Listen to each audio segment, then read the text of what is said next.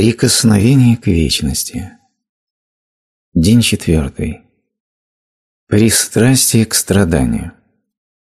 Часть первая. Мы только что прослушали фрагмент музыки. Суть этой музыки не столько в звуках, сколько в пространстве между ними. Когда вы слушаете подобную музыку, обращайте больше внимания на пространство, чем на звук. Звук указывает на него. Это похоже на то, как в японских и китайских картинах в одном углу небольшой фрагмент горы, ветка дерева в другом углу, но в основном на полотне пустое пространство. Созерцание – обращение внимания на пустое пространство. Осознание пространства. Это возможно, если вы чувствуете пространство внутри себя – Воспринять пустое пространство можно только пространством внутри себя. Мыслью этого сделать нельзя, поскольку пустое пространство не имеет формы, а мысль – форма. Не имеющие формы – суть вашей идентификации. Конечно, вы сохраняете еще временную идентификацию с физической и психологической формой.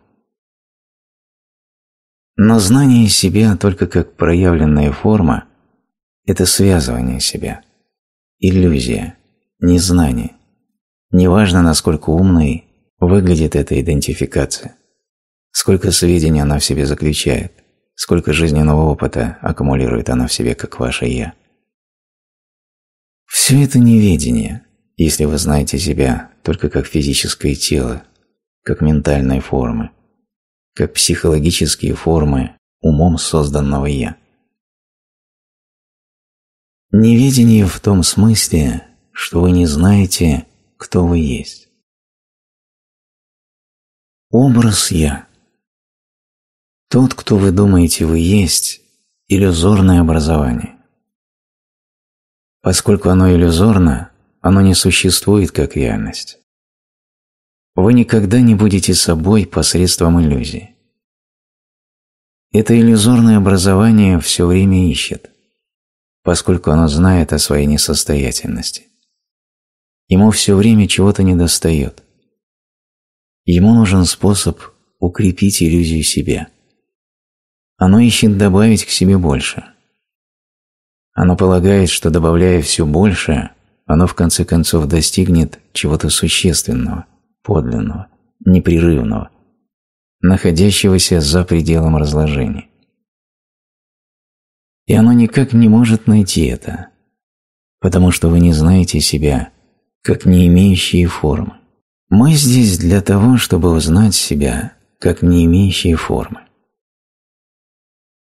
В любой ситуации, когда мы действуем, мир форм притягивает вас – во взаимодействии с другими людьми вопрос сводится к тому, есть ли пространство в этом взаимодействии.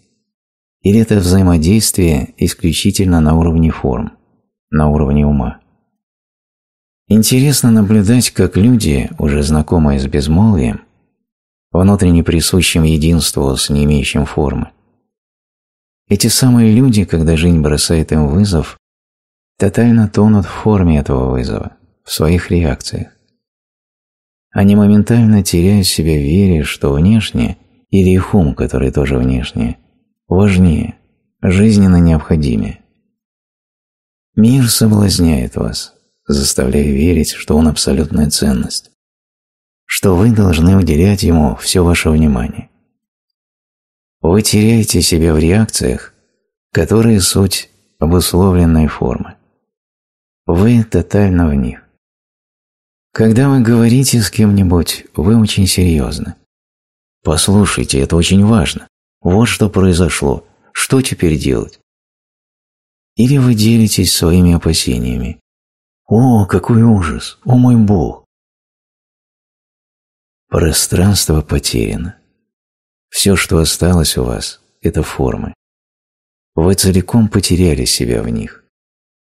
Так существует целая цивилизация она потеряла себя в формах. Новости по ТВ. В них не чувствуется пространство. Диктор очень серьезен. Читает с чувством, что сообщает нечто важное. Вот настоящая проблема.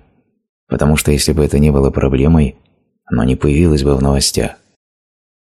Событию не нужно быть глубоким, наполненным смыслом. Ему достаточно быть проблематичным, чтобы стать новостью. Специальные люди, сами потерявшие себя в формах, отбирают новости для вас и затем подают их как нечто чрезвычайно важное.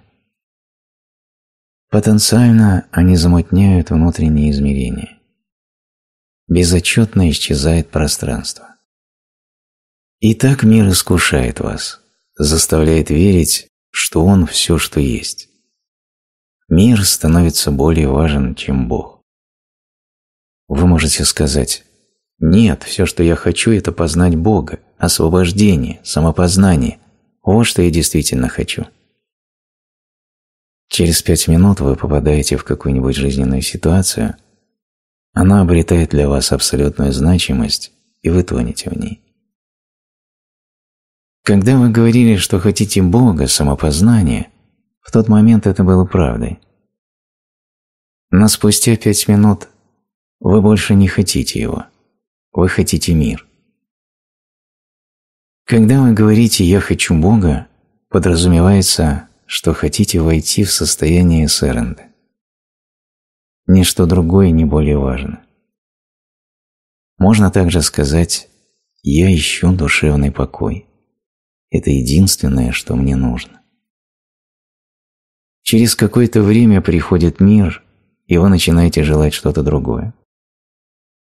В курсе чудес есть прекрасные строки «Я хочу покой Бога». Просто произнести эти слова не значит ничего. Но понять значение этих слов – это все. Никто не может понять эти слова и остаться неисцеленным. То есть не стать целостным, не стать самим собой. Все дело в том, чтобы действительно хотеть этого. Многие говорят «я не могу, Сэренде». Не можете или не хотите?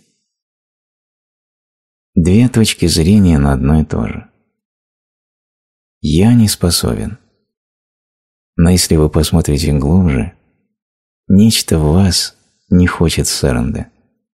Оно не хочет покоя. С одной стороны, очень глубокое стремление к самоосознанию, желание душевного мира. И есть другое стремление в вас, которое не хочет ничего этого. Оно очень легко затмевает вашу глубинную сущность, ваше желание душевного мира.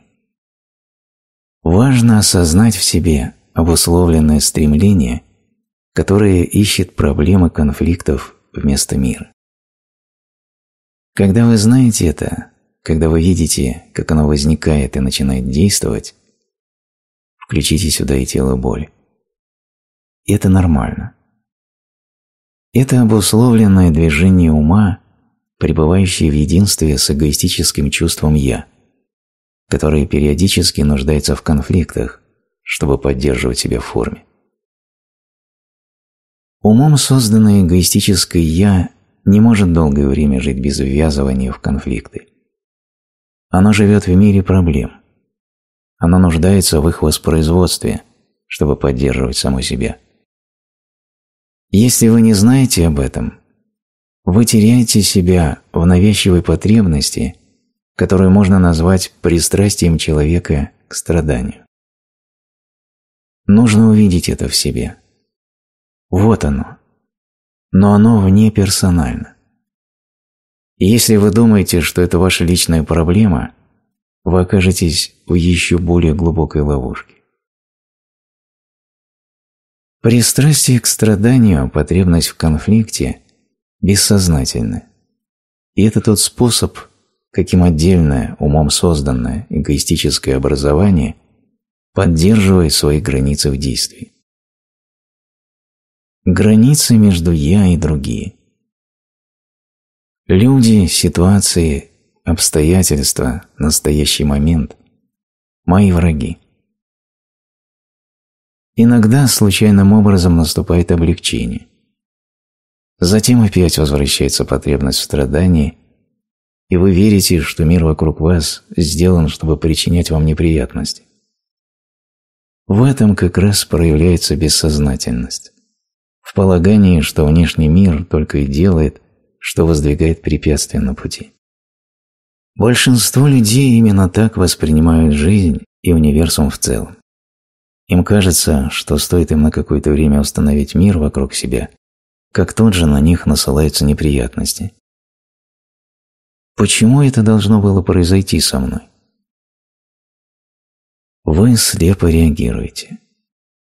Кажется, что это мир причиняет вам, но не осознаете, что скрытое желание исходит изнутри вас.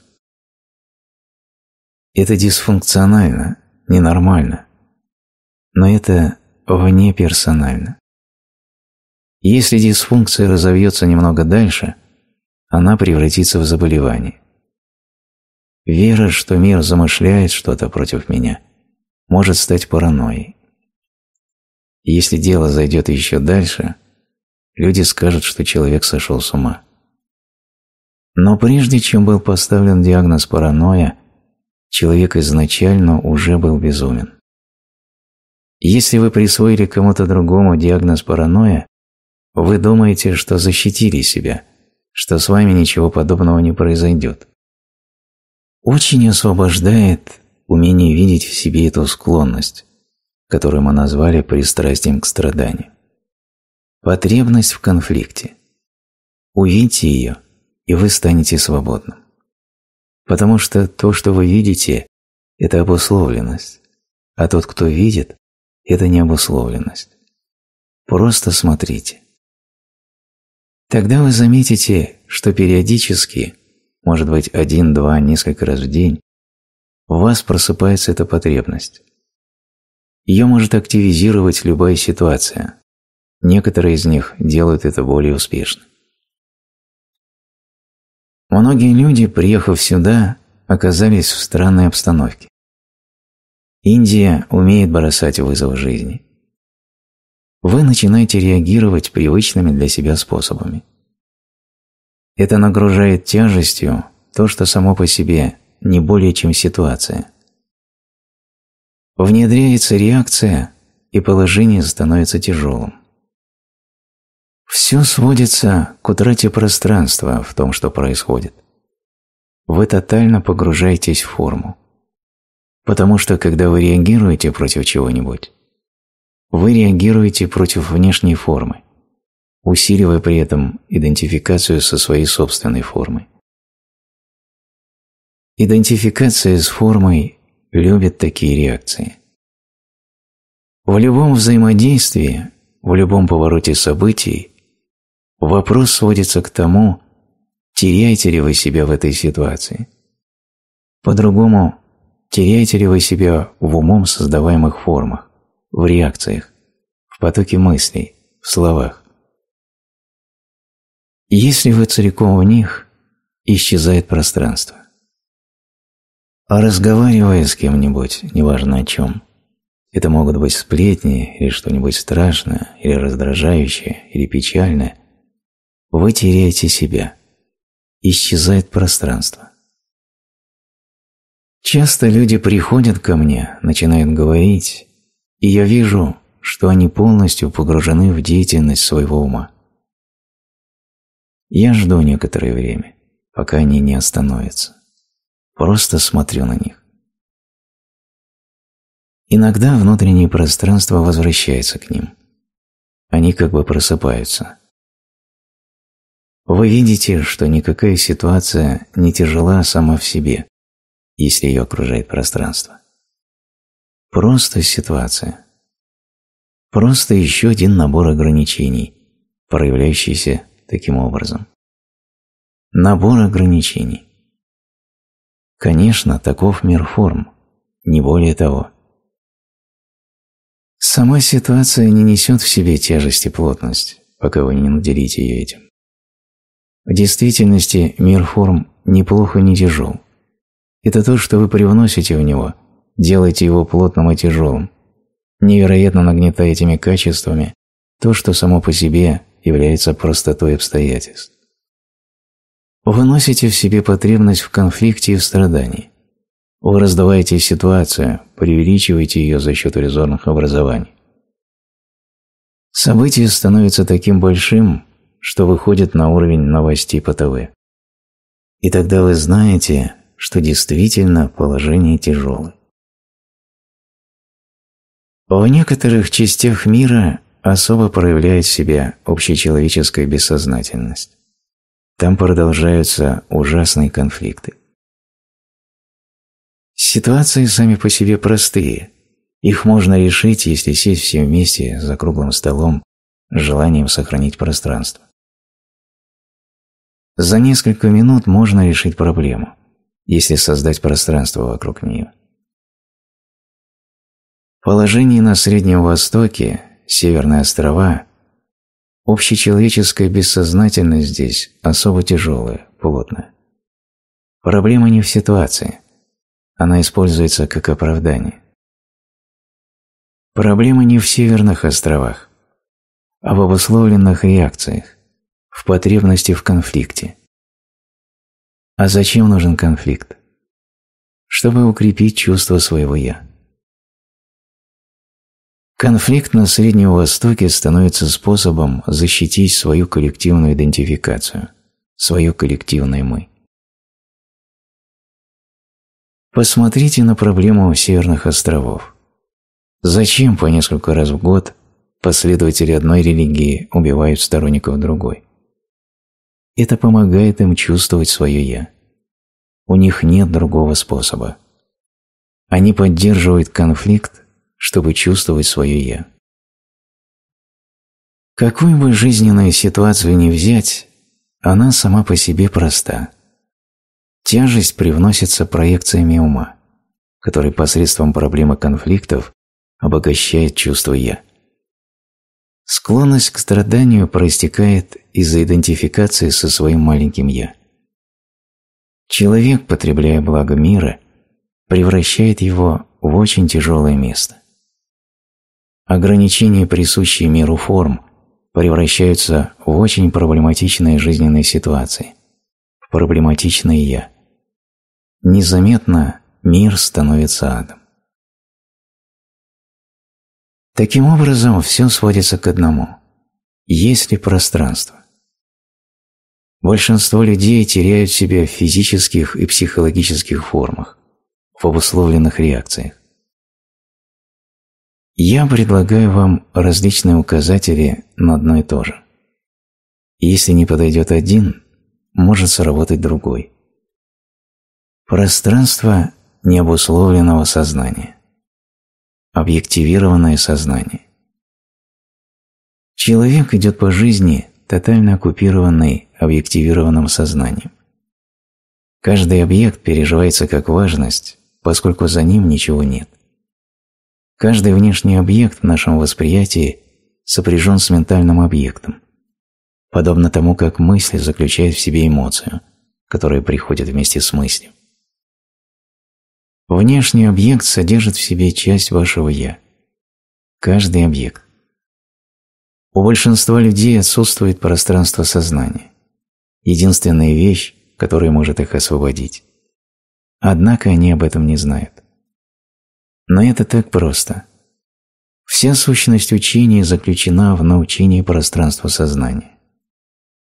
Не терять его в формах, не терять в уме.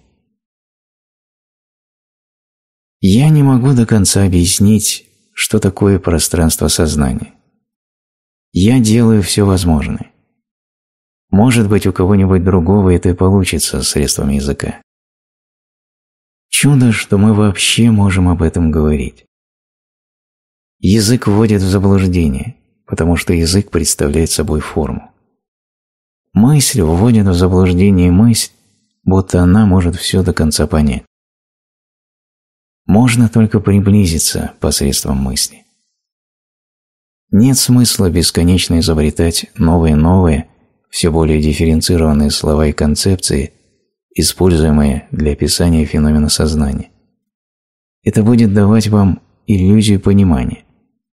Это дифференциация, это создание новых слов. Но они будут все теми же ментальными конструкциями. Достаточно тех указателей, которые уже есть. Остальное в непосредственной передаче состояния. Не то, чтобы я специально что-то делал для этого. Это происходит. Прямая передача присутствия или пространства сознания. Назовите как угодно. В начале нашего ретрита я говорил о необходимости осознать измерения, пребывающие за словами. Слова лишь указывают на него. Но суть – это само измерение, как бы вы его ни назвали. Пространство сознания или присутствие, или безмолвие, или необусловленное сознание, или чистое восприятие не имеет значения. И это всего лишь указатели. Вы можете назвать это сознанием без или чистой разумностью. Вот еще указатель. Указатель не является тем, на что он указывает. То за пределами слов, то за пределами мира. И тем не менее, оно здесь. Оно за формой, но оно здесь. Как оно приходит в мир, кто знает. Оно здесь. Откройтесь этому измерению, пока вы находитесь в зале. Возможно, вы не сможете сказать словами о происходящем с вами. И однако оно возникает как способность просто сидеть в пробужденном безмолвии. Чувство пространства. Вы узнаете себя, так сказать, из первых рук. Что такое быть сознательным без мыслей? Иногда появляется мысль, как случайное движение внутри этого состояния. Все нормально. Вокруг нее пространство. Пространство. И это абсолютная ценность вашей жизни. У всего остального относительная значимость. Успех в делах или успех в глазах других людей. Мир говорит, что это вы сделали нечто. Имеет ли это значение? Да, относительное значение имеет. Если в вас есть потребность, чтобы мир говорил вам, что это сделали вы. Окей. Богаты вы или бедны, это имеет относительное значение. Вы можете жить в небольшой хижине или в просторном особняке. Да, относительное значение это имеет так же, как и все внешние обстоятельства вашей жизни, даже состояние здоровья, хорошее оно или нет. Но только единственное имеет абсолютную ценность. Это знаете ли вы себя за пределами форм.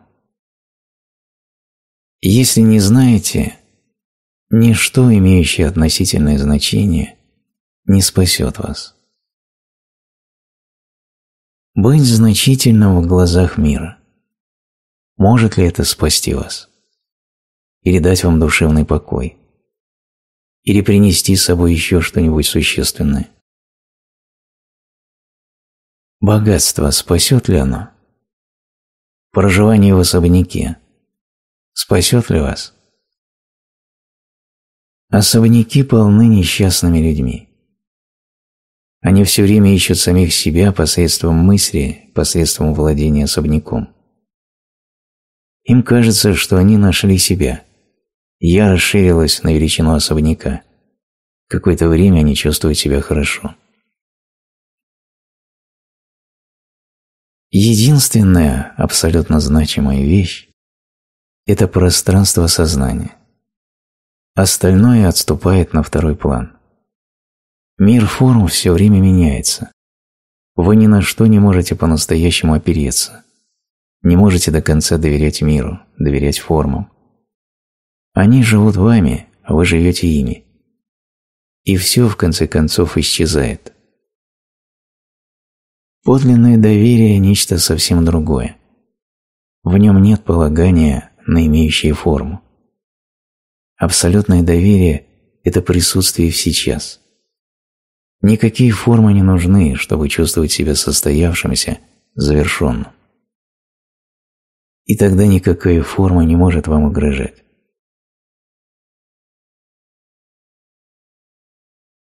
Итак, вы учитесь здесь тому, что такое пространство сознания. Это не заучивание нового, а скорее отучение себя от обусловленных привычек. Они ослабевают, когда вы смотрите на то, как эти обусловленные привычки замутняют собой пространство сознания, заслоняют присутствие, которое уже здесь. Примечательно, что некоторые места особенно притягивают к себе духовных искателей. И сейчас мы в одном из таких мест – на протяжении тысяч лет людей тянуло сюда. Многие из них так и остались искателями. Они ищут себя в разного рода переживаниях, видениях, во всем, что можно добавить к своему «я». Они не знают, что само искание заслоняет собой то, что уже здесь. Запомните, о чем мы говорили в начале. Вносите пространство сознания в любые взаимодействия. В этом заключается ваша работа. Так изменится мир, потому что мир состоит из человеческих взаимодействий. Вы можете вносить сознание во взаимодействие, пребывая в состоянии внимательного слушания.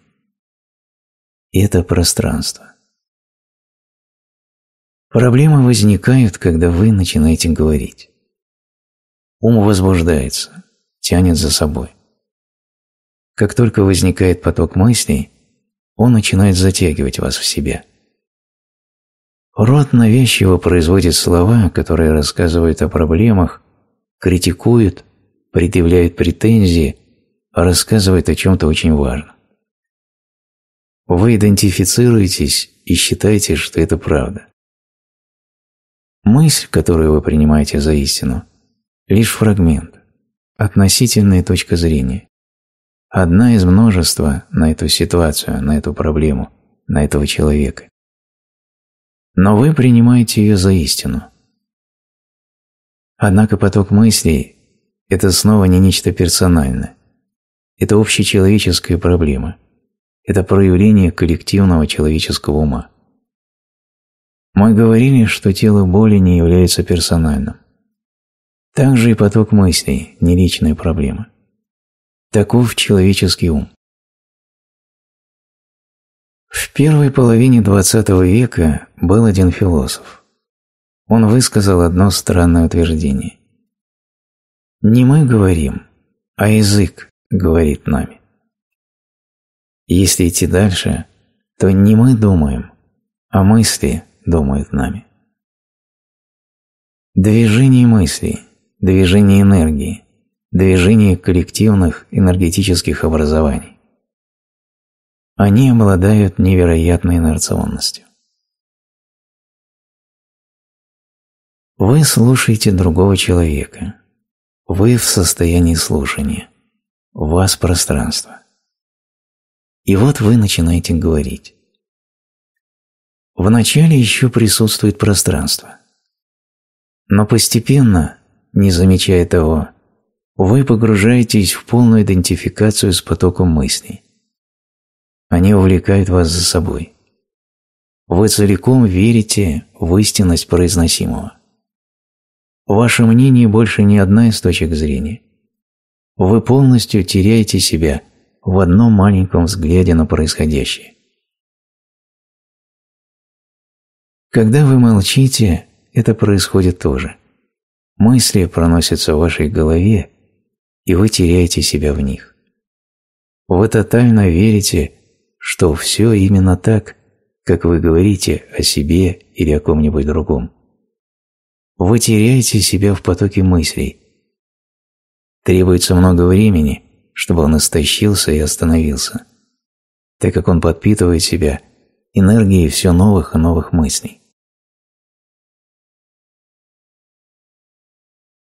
состоянии присутствия, даже если поток мыслей возник, даже посреди него сохраняется возможность наблюдать за происходящим.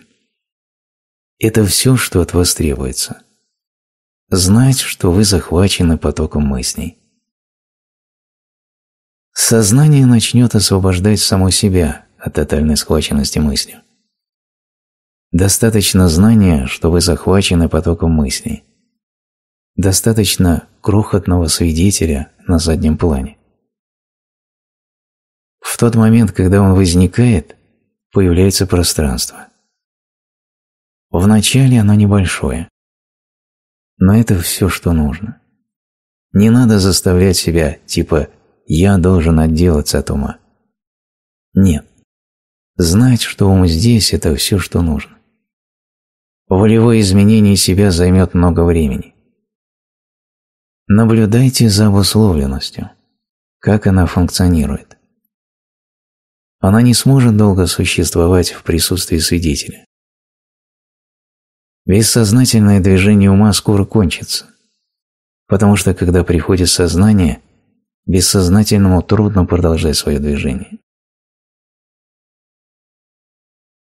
Вместо того, чтобы наполнить себя жизнью, многие люди стараются переделать себя. Позвольте присутствию быть. Конечно, это не то, что вы можете заставить, чтобы было. Оно либо есть, либо его нет. Тот факт, что вы сидите в этом зале, означает, что сознание здесь, потому что это оно заставило прийти вас сюда. Если вы попали сюда по случайности, или вас привела иллюзия, или еще что-нибудь.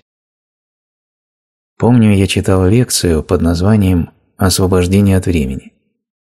Один человек пришел по ошибке, так как думал, что будет семинар по тайм-менеджменту. Такое случилось дважды. В первый раз человек, пришедший, как он полагал, на семинар по планированию времени, вскоре вышел из зала, объяснив организаторам, что произошла ошибка. В другой раз на лекцию пришел доктор, в надежде разрешить проблемы с распределением своего времени. Через три часа он с удивлением сказал, «Никогда не слышал ничего подобного. Я пришел за управлением временем, а нашел гораздо больше. Таким образом, присутствие – это не то, что вы можете заставить произойти. Оно либо есть, либо его нет. Я знаю, что у вас оно есть. Если бы вы пришли сюда по ошибке, в ожидании, что найдете для себя нечто, что сможете добавить к своему «я», новые духовные знания, новые верования, эмоциональные переживания, вы бы уже давно ушли или сидели бы в состоянии угнетенности и разочарования, что придавало бы силы вашему «я». Находясь в подобном состоянии, молчаливо полагается, что вы правы, а весь мир вокруг нет, и поэтому вы правильно делаете, что раздражены. Вы чувствуете, что знаете, кто вы есть. Вы не можете заставить возникнуть присутствие. Это благодать.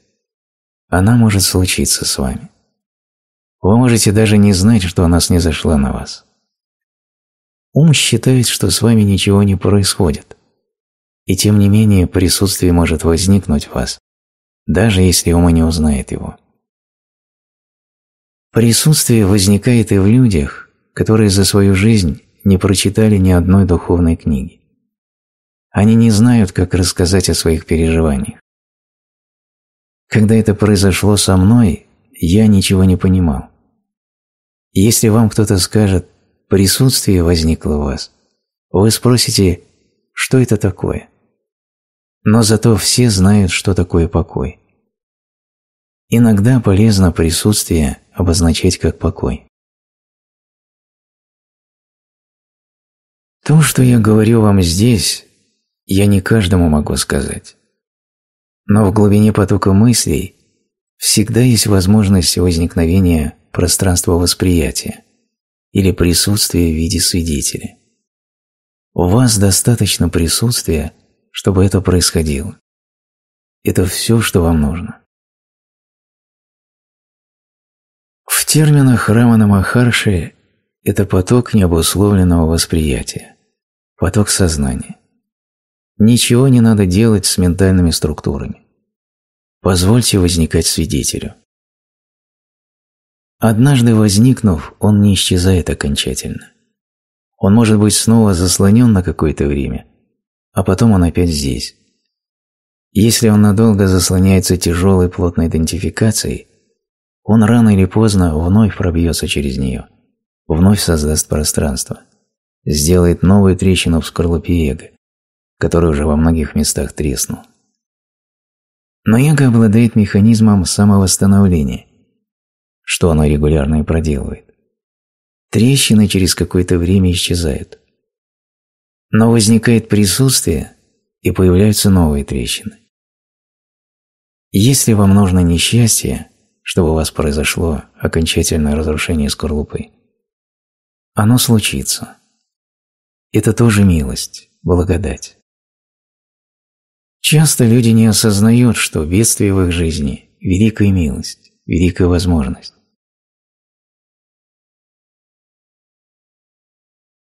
Не думайте, что я сразу согласился с учителями, говорившими, что не нужно ничего делать.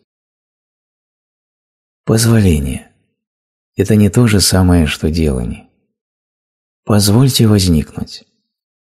Открытость совсем не похожа на желание «я должен заставить это произойти». У вас не получится. Но можно позволить возникнуть.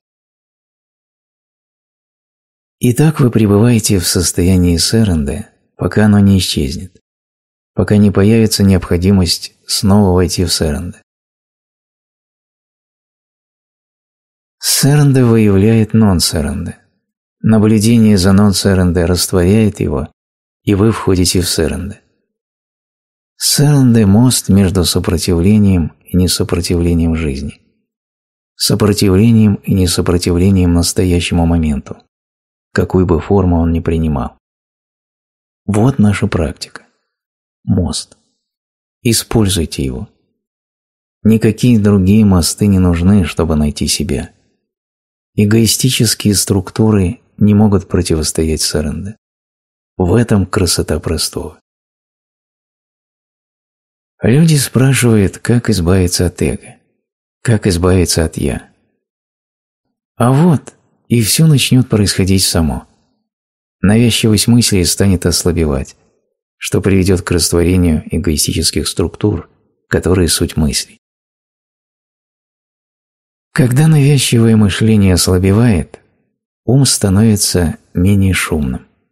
Вы чувствуете тишину. Она внутри, она снаружи. Она пространство сознания.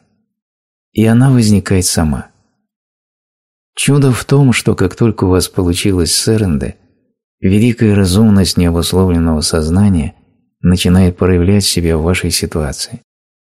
Да, это настоящее чудо. Но оно скорее побочный продукт. Вы ничего не делали. Прекрасно, когда формы меняются на более гармоничные. Когда благоприятные факторы неожиданно входят в вашу жизнь, и вы не знаете, откуда они взялись возникают счастливые совпадения, потому что теперь вы объединены с целым, и оно проявляет себя посредством вас. Но все это как крем-мороженое на торте.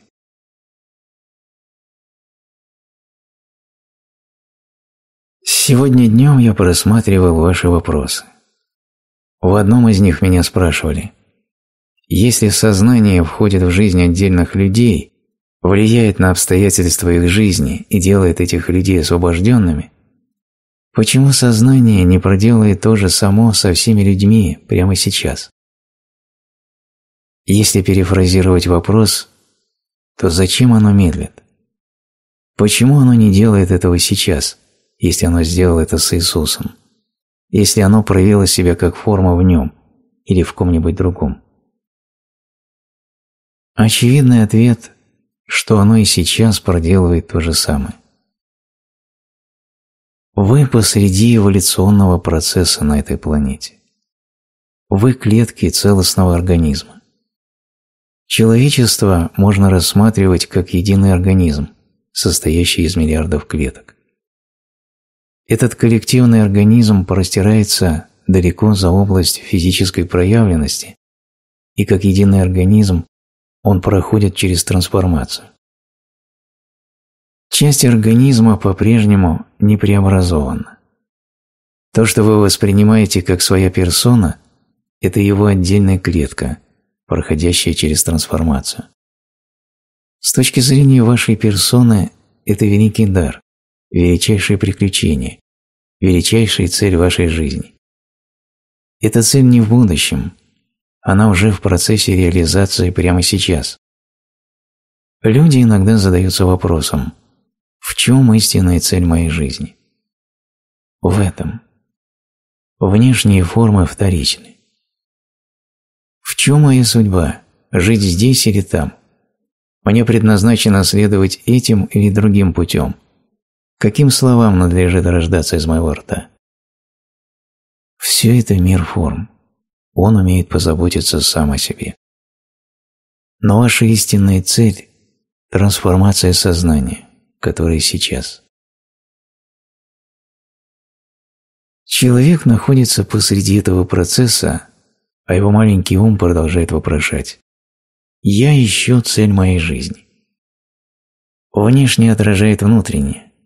Вас постоянно обучают в той или иной форме. Ваше настоящее превращается в учителя. Хорошая новость в том, что подобно тому, как бессознательность очень заразительна, один бессознательный человек может спровоцировать драму для всех людей в зале. Он может заставить всех кричать и драться, втянуть всех в реактивное состояние.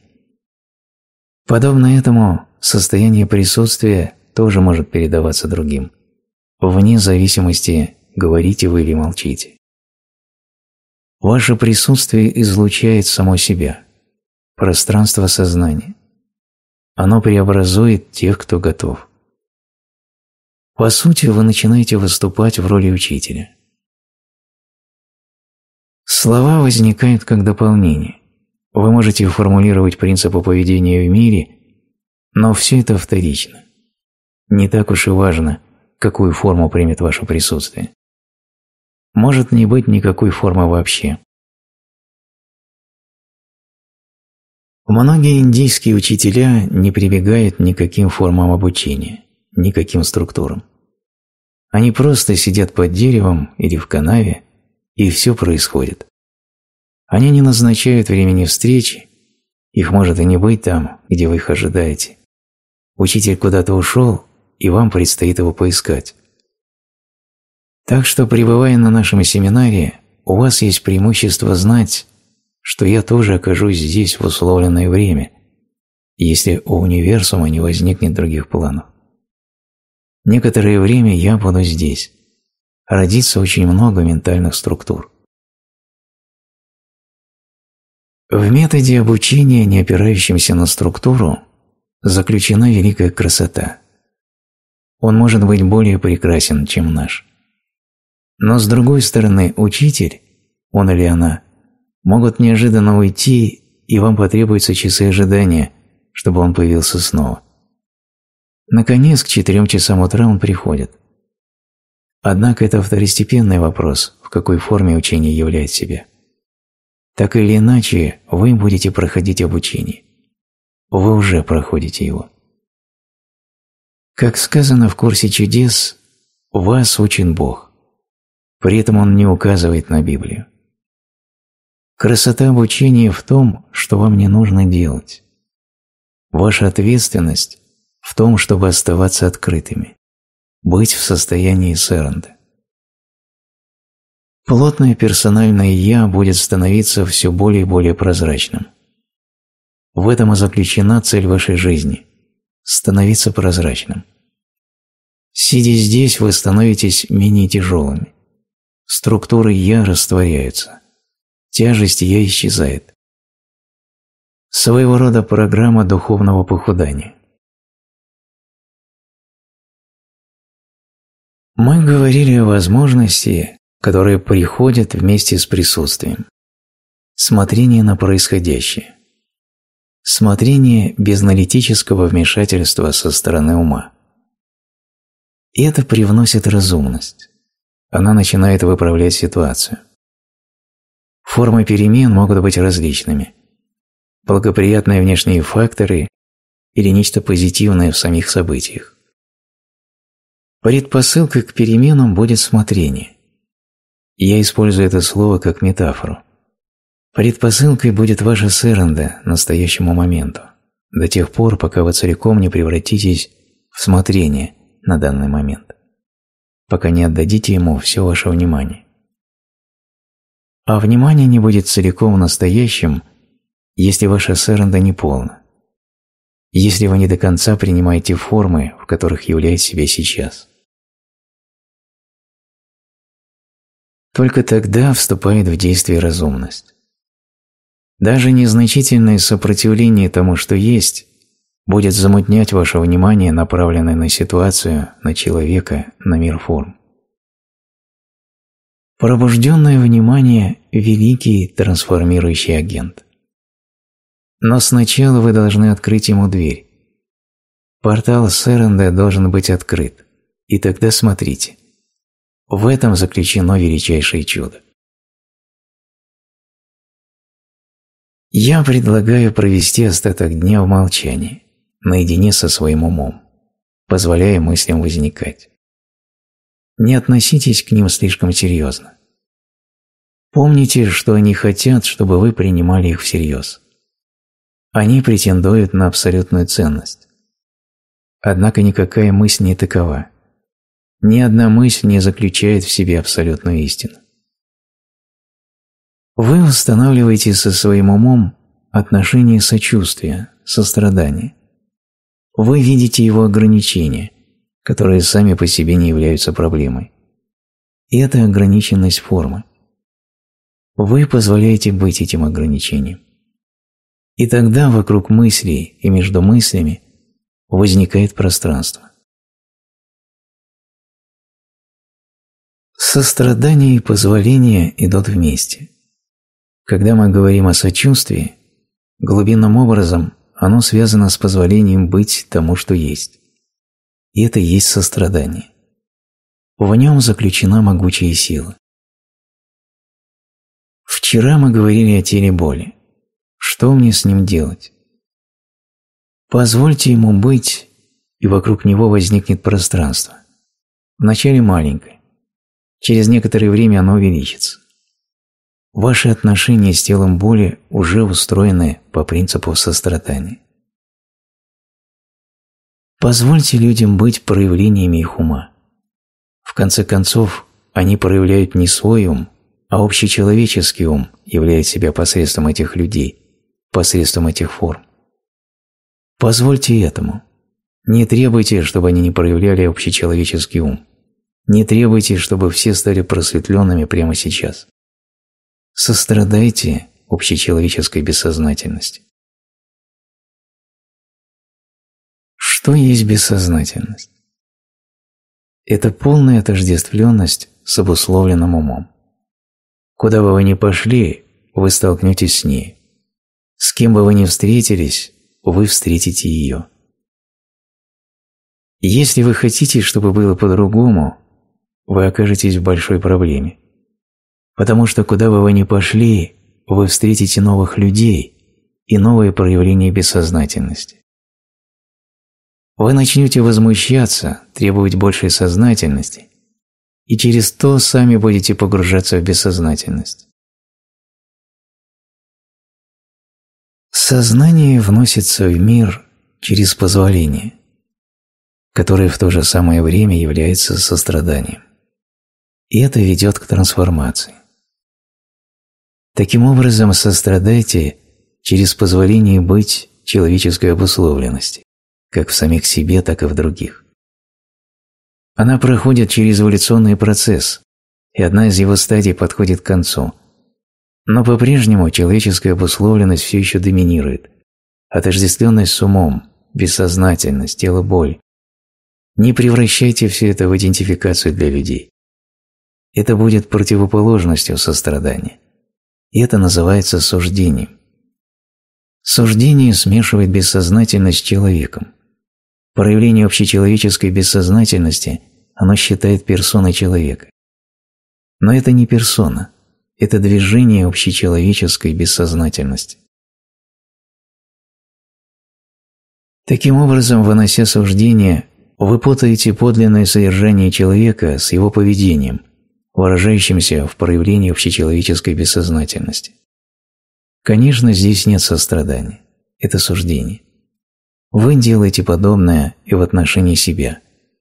Вы смотрите на то, что вы делали вчера, на свою бессознательность, и говорите «это был я, я плохой, бесполезный». Это ничего общего не имеет с тем, кто вы есть. Где бы вы ни встретились с бессознательностью, позвольте ей быть. За ней ничего нет, никакой персоны. Таким способом передается присутствие, через позволение. Не нужно специально делать, чтобы изменить. Перемены происходят.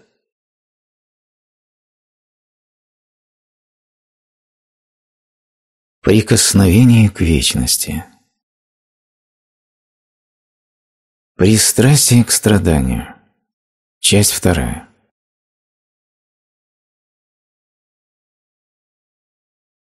Некоторое время уделим вашим вопросам. Вы также можете задавать их устно. Пожалуйста, задавайте. На большинство вопросов, особенно если они жизненно важные для вас, вы найдете ответы внутри себя с помощью безмолвия. Поместите проблему во внутреннюю тишину. Если вы захвачены мыслями, периодически выходите из их потока. Мысли должны занимать свое место в жизни, но что более важно, это умение отступить назад и смотреть.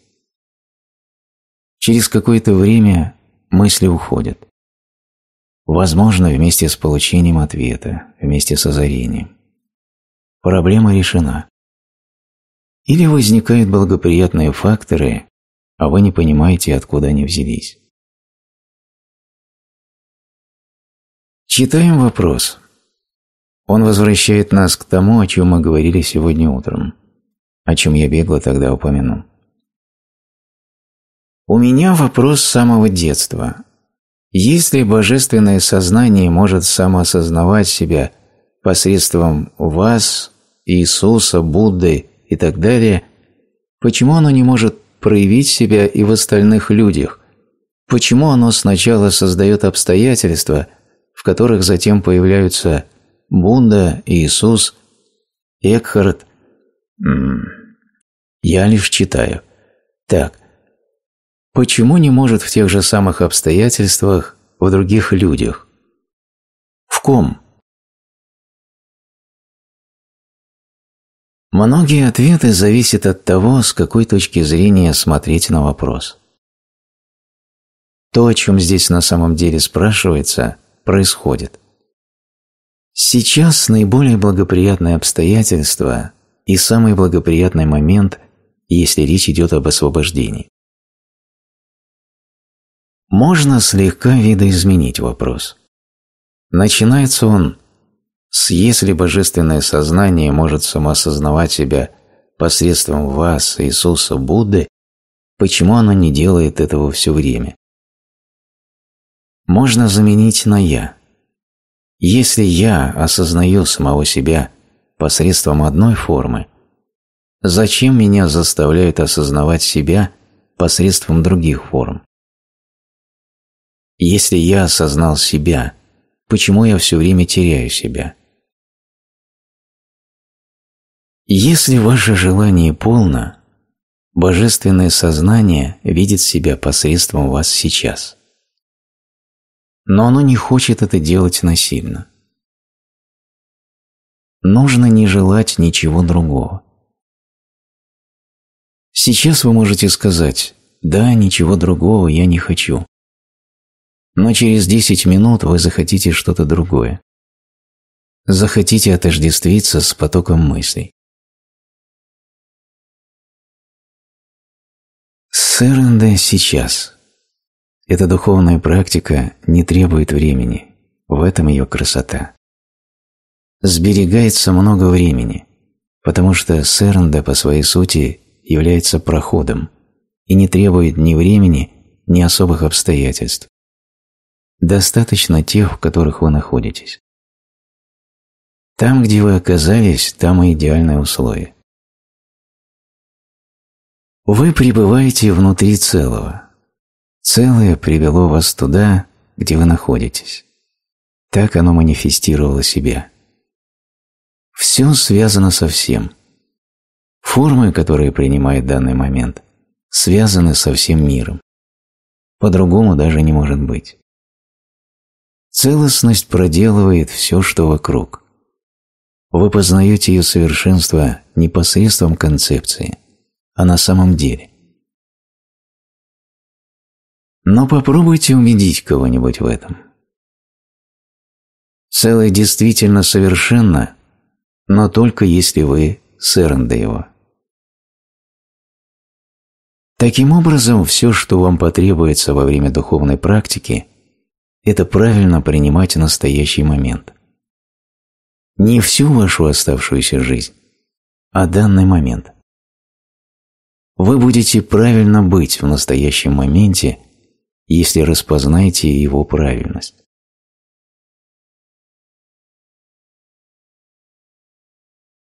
Следующий вопрос.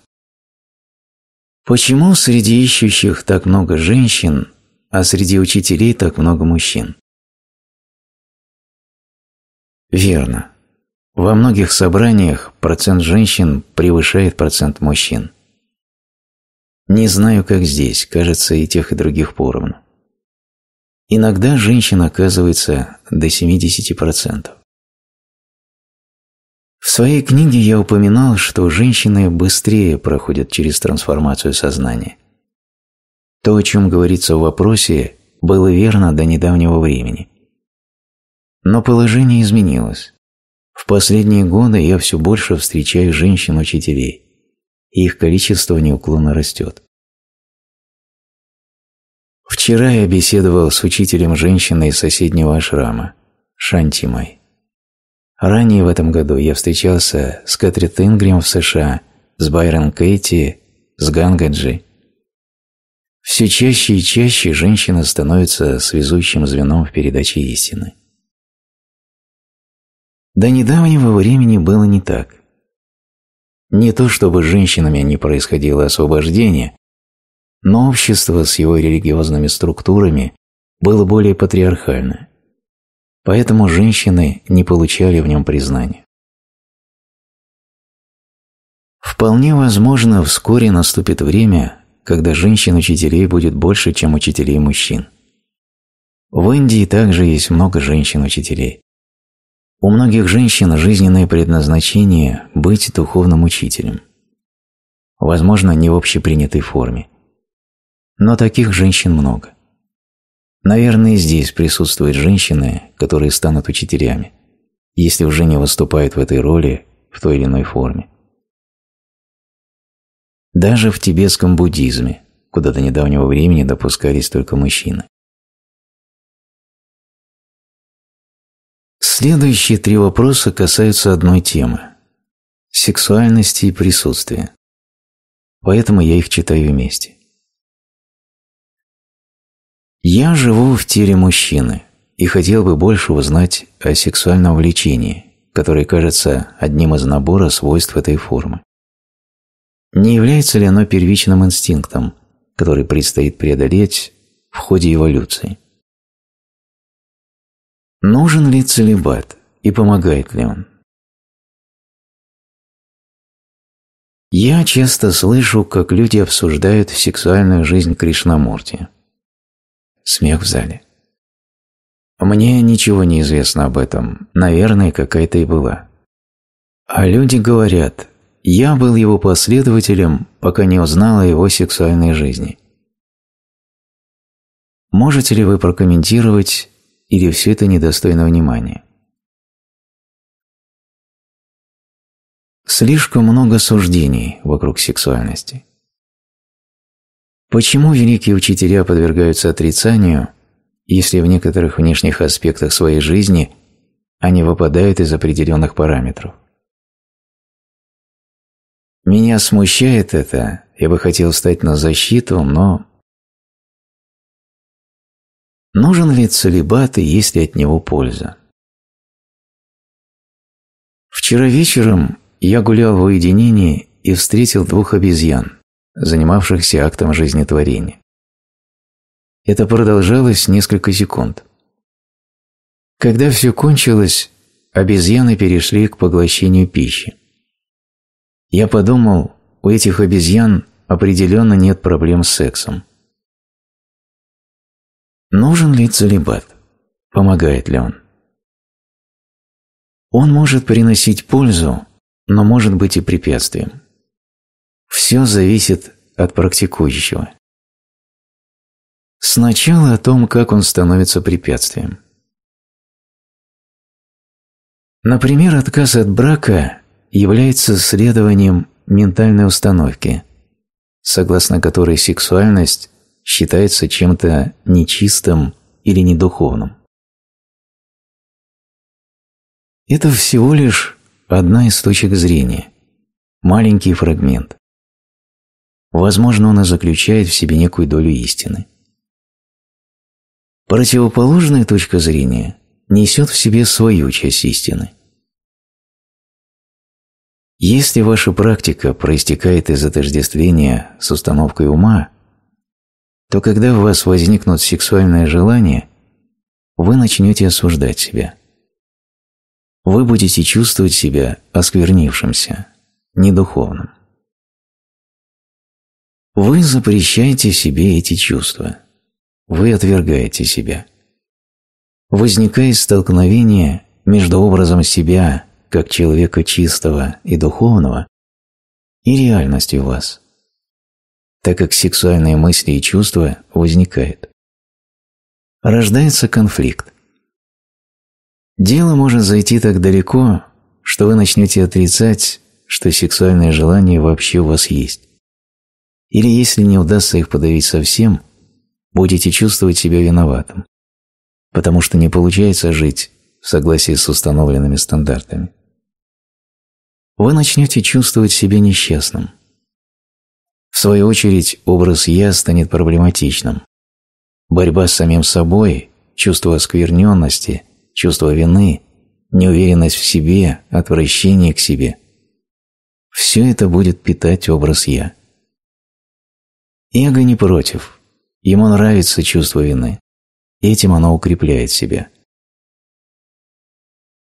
У меня не получается быть безупречным мастером, зато я могу быть плохим. Ментальная концепция. Вы можете полностью отрицать свои сексуальные чувства, потому что они разбивают ваш образ продвинутого практикующего. Вы достигли седьмого уровня – а секс должен быть преодолен еще на шестом этапе. Смех в зале. В христианской традиции, особенно в прежние годы, секс подавлялся полностью. Но как окончательно подавить жизненную силу? Когда-нибудь и как-нибудь она проявится и опрокинет вас. Если вам повезет, она будет приходить к вам только в диких сновидениях. Вы будете просыпаться посреди ночи и ментально интерпретировать, будто бы дьявол напускает на вас эти сны. Либо это может выразиться в сексуальной навязчивости. Секс захватит власть, будет скрыто управлять вами, так как не получилось окончательно отделаться от него. В конце концов вы станете очень несчастными. Так выглядит положение того, кто практикует целебат и для кого он превратился в препятствие. Посредством него он или она усиливает ложное чувство «я», усиливает свою идентификацию с ментальной позицией, с точкой зрения, целиком полагая, что вся истина находится в этом отдельном суждении. Такой человек может практиковать целебат всю жизнь, а на самом деле он будет укреплять свое «я». В некоторых случаях сексуальные желания действительно перестают возникать, хотя человек продолжает выстраивать свой имидж. Наконец я достиг, я чистый духовный. Правда, к этому времени он, возможно, уже стал стариком. Года три назад меня подозвал мой отец. Ему сейчас 85. Стало быть, 82 года. Он подозвал меня и сказал, «Я, наконец, окончательно трансцендировал секс. Не понимаю, почему людей так занимает эта смешная вещь. Всю свою жизнь их интересует секс. Я сказал, это хорошо, поздравляю. В прошлом году он снова подозвал меня и сказал, «Я ошибся». Он был рад сообщить, что еще не трансцендировал. Я сказал, «Поздравляю». Иногда целебат случается естественным путем, как следствие вашей жизненной ситуации. Вы наблюдаете, вносите присутствие в то, что, как правило, необычайно сильно затягивает человека в бессознательность. Великий инстинкт жизни. Кратковременный период целебата полезен в жизни каждого, но не искусственно созданный, а как следствие открытости феномену, натурально возникающему из ваших обстоятельств. Вы можете превратить его в духовную практику, наблюдать за взаимосвязью между сексуальностью и очень мощными мыслительными процессами. У людей, преодолевших идентификацию с умом, последним убежищем для мыслей становится связь ума и сексуальности. Она питает энергией активность ума. Ум знает об этом. Возникает сильная взаимосвязь между сексуальностью и непрекращающимся потоком мыслей. Значительная доля мыслей человека связана с его сексуальностью. Фантазии, образы. Связь между сексуальной энергией и мыслительным процессом поддерживает неостановимость последнего. Вы можете внести присутствие в сексуальные чувства, позволяя им возникать, но не давая им становиться частью психологического образа «я», не идентифицируя себя с ними. Вы не отрицаете сексуальные чувства. Вы не занимаете некую ментальную позицию. Вы не оцениваете их ни как хорошее, ни как плохое. Просто то, что есть. Вы смотрите, как красиво, когда сексуальное чувство не превращается в сексуальное желание, которое всегда хочет больше, чем есть сейчас. Вы привносите присутствие в чувство – и чувство перестает быть желанием. Жизнь манифестирует себя в форме, известной под названием «сексуальное чувство». Проживайте его непосредственно, напрямую. Да, бытие формы ограничено. Ваша физическая форма, в которой вы пришли в жизнь, имеет набор ограничений. Вы мужчина или женщина – вы половина целого. Поэтому эта половина страстно желает обрести полноту целого. Возникает сексуальное влечение. Нельзя достичь полноты себя посредством сексуального акта. Он дает только мгновенное чувство полноты, которое очень быстро исчезает. В своих корнях сексуальное притяжение является следствием неполноты формы следствием того, что она половина целого, либо одно, либо другое, стремящееся объединиться с противоположным. Таков первичный импульс желания. Я бы распространил его на все. Когда одно животное пожирает другое, так проявляет себя первичная форма любви, слияние в одно целое. С нашей точки зрения это выглядит ужасным.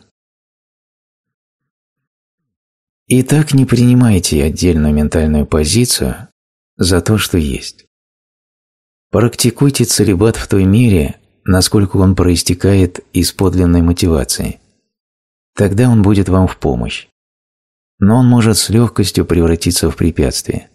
Будьте внимательны. Здесь прозвучал вопрос, возможно ли преодолеть сексуальное пристрастие вообще. Это целиком человеческая проблема. Пристрастие означает, что в дело вмешался ум. Он выстраивает психологическое «я» на вершине вашей сексуальности. Ум хочет повторения удовольствия прошлых опытов, даже если тело иногда этого не хочет. Используя подобный механизм, все что угодно может превратиться в пристрастие.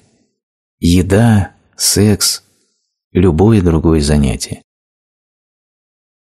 Наблюдайте, как ум пытается установить связь с центром сексуальности, как он использует различные средства, чтобы поддерживать себя в рабочем состоянии. Таким образом, если вы практикуете секс, вносите в него осознанность. В этом суть тантры. В том, что действия перестают быть средством достижения последующих целей. Вы тотально присутствуете в возникающем чувстве. Если у вас партнер или нет, вы позволяете чувству быть и наблюдаете за ним.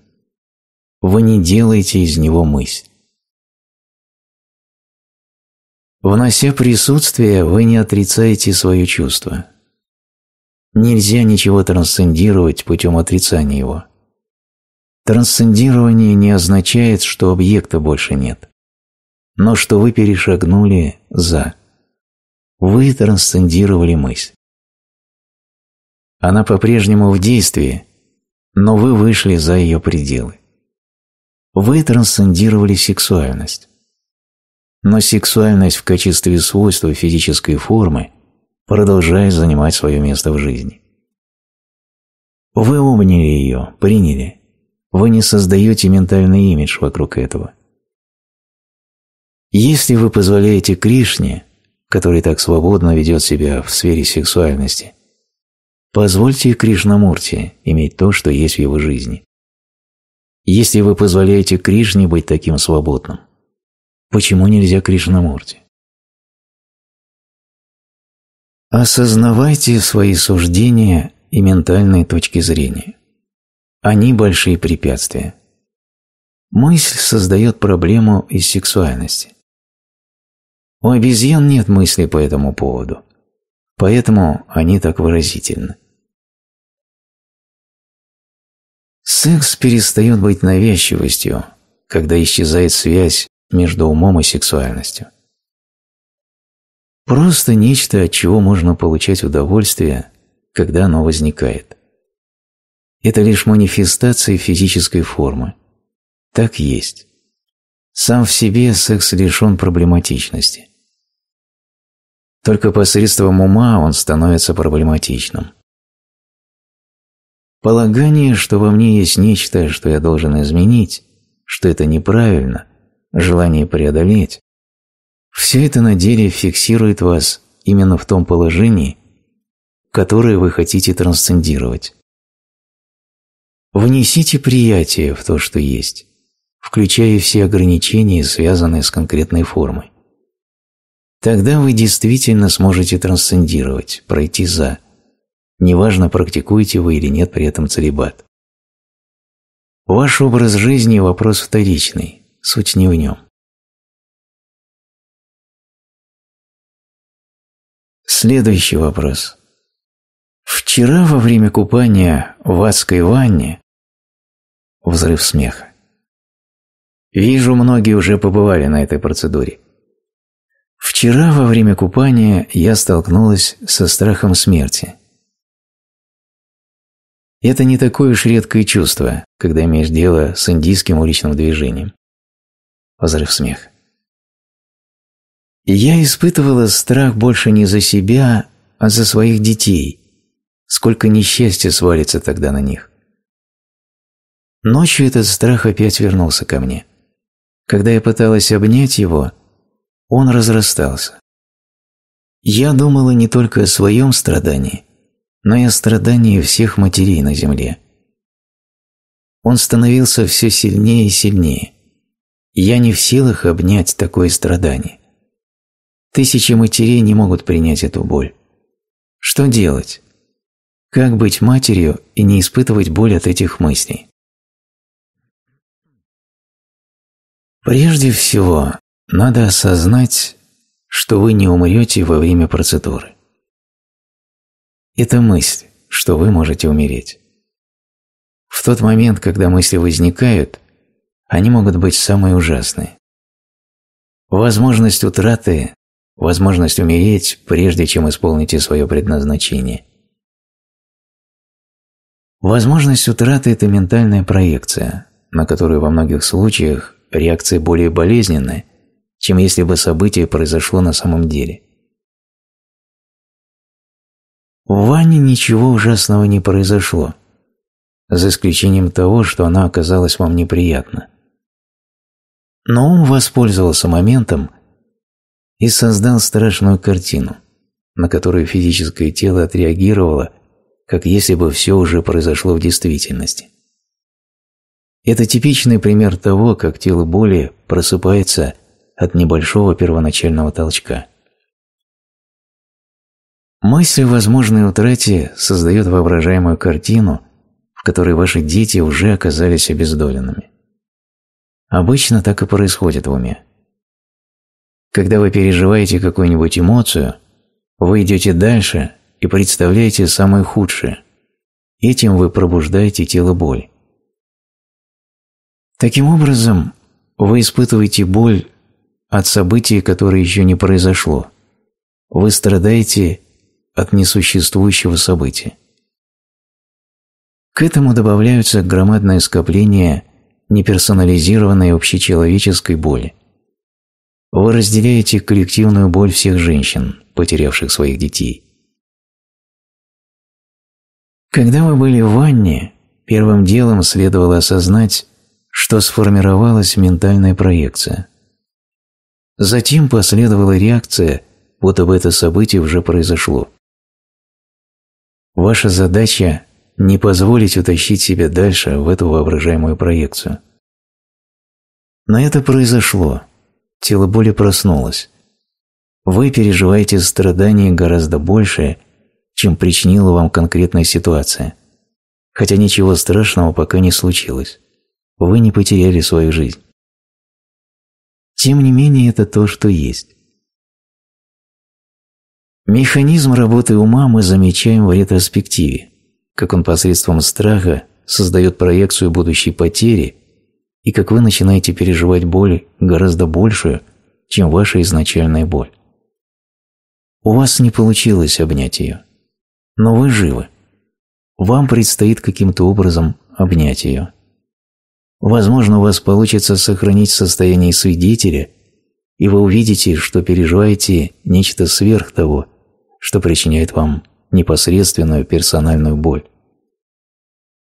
Многие дети теряют родителей. Часто родители теряют детей. Что хуже? И то, и другое ужасно. И тем не менее, каждое человеческое существо рано или поздно сталкивается лицом к лицу со смертью. С некоторыми эта встреча происходит в раннем возрасте. Но они живут дальше, очень рано получив урок духовного обучения. Однако те, кому жизнь посылает подобное духовное прозрение, уже готовы к нему, хотя этого можно не замечать на поверхности явления. Пережить утрату в раннем возрасте очень болезненно – но потенциально она становится началом духовного самосознания. Никакая форма не долговечна. Возможно, родителям больнее терять своих детей. Но может быть для некоторых из вас такой жизненный урок, и вы должны пройти сквозь него. Возможно, одна из причин, почему вы сейчас оказались здесь, это страдание, которое вы пережили к этому времени материя вашего существования перестала быть достаточно прочной. Наблюдайте за своим умом. Смотрите, что он создает. будущие потери, возможные утраты. В этом суть беспокойного ума. Суть тревоги в проекциях. В опасной ситуации наблюдайте, удастся ли вам отключиться от прошлого и будущего. Иногда такое происходит естественным образом. Отсоединение от прошлого и будущего. Отказ от них. Используйте опасную ситуацию как нечто, приводящее вас в настоящее. Когда вы приезжаете в Индию и впервые сталкиваетесь с уличным движением, все, что вы можете сделать, это все мысли крутятся вокруг одной. Сейчас я умру. Великая милость, что столь большое количество людей выживает в таких условиях. После каждой поездки вы благодарите Бога, что остались живы. Это может стать великим обучением. Пребывание здесь вынуждает научиться полному сэренде. Если у вас не получится, вы будете чувствовать себя здесь ужасно несчастными. Вчера вечером я разговаривал по телефону со своей матерью. Она сказала, «Ты ехал на поезде, чтобы вернуться в Дели. Не лучше ли было на автомобиле?» Я ответил, «Тебе в кошмарном сне не приснится, на что здесь похоже уличное движение. Следующий вопрос. Бытие самим собой придает человеку особые качества. Такое впечатление, что люди, не имеющие эго или по-другому персоны, заново рожденные или так называемые просветленные мастера, излучают энергию особой вибрации. Да, верно. Форма, через которую проступает глубинная, непроявленная, становится почти прозрачной. В противном случае ничто не смогло бы светить сквозь нее. Не имеющие формы постоянно светят через множество форм. Только излучение это не сильно. Оно пробивается наружу, пока не достигнет самых верхних слоев, и тогда мы воспринимаем ее как эманацию тишины. Или оно может принять форму духовного учения, слов, или действий, который совершает учитель. Все зависит от особенностей формы. Так меняется свет, проходя через абажур. Абажуры отличаются друг от друга. Свет, проходя сквозь них, становится щадящим, мягким, но при этом сохраняет свою энергетическую наполненность. Через некоторых учителей духовный свет приходит как страх лишь временами проявляя себя в противоположном качестве. Он пугает вас. Свирепый учитель вдруг может стать очень мягким, вы не понимаете, что происходит. А мягкий учитель неожиданно очень жестким. Дзен-мастер может напасть на вас, атаковать вашу бессознательность, чтобы расколоть ее. Может оскорбить вас, накричать, даже ударить. Но скрытым образом в его действиях присутствует противоположный аспект бытия. Мягкость скрывается за внешней свирепостью. Так же, как и у внешне мягкого учителя, в глубине может таиться свирепость. У вас есть выбор. Возможно, поэтому вы пришли сюда. Я знаю многих учителей, в обществе которых чувствуешь себя не очень комфортно. Такова традиция дзен. Но слушая Рамана Махарши, мягкая эманация тишины исходит от него. Совсем другая, чем от дзен. Тем не менее, она может стать настоящим вызовом жизни. Вы задаете вопрос, а в ответ получаете молчание, тишину. И это настоящий вызов. Такой же, как если бы кто-то атаковал ваше эго – скрывающиеся за вашим вопросом.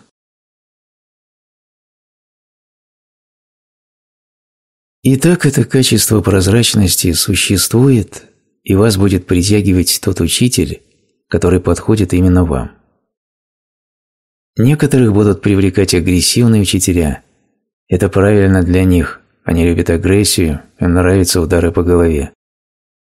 Однако есть учителя, которые ведут себя агрессивно, без осознанности на заднем плане. Они атакуют ваше эго, чтобы укрепить свое. Они могут даже не знать об этом.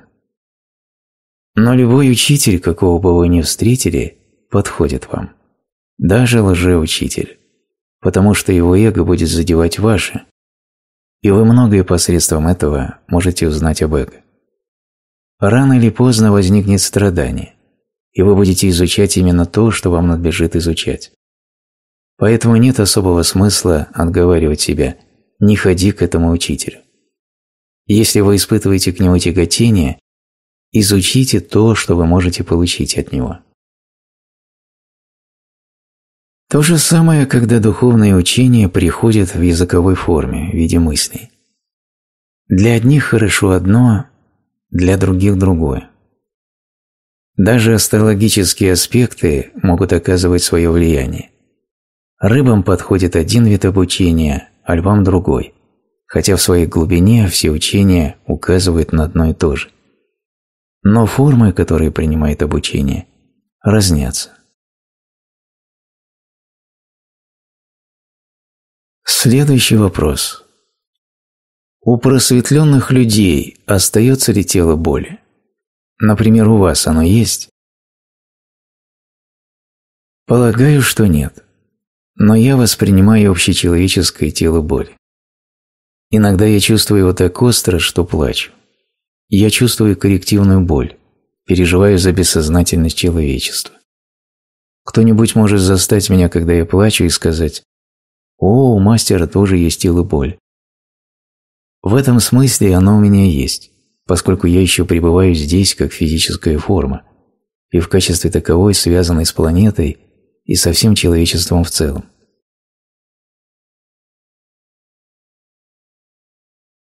Следующий вопрос.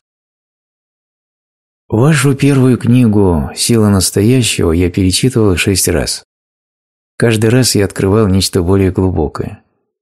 Когда я увидел ее год назад на книжной полке, казалось, книга излучала энергию, хотя я ничего еще не знал о вас.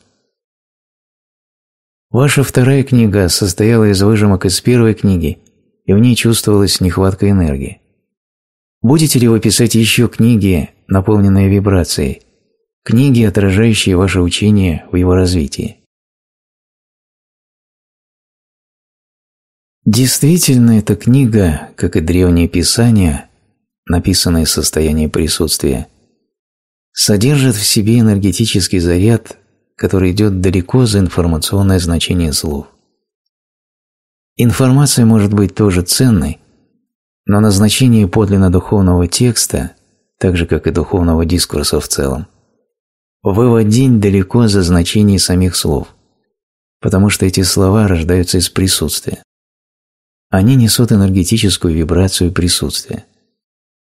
Звук достигает ушей, нервные импульсы попадают в мозг, там они декодируются в значении слов. Обычно этим все и заканчивается.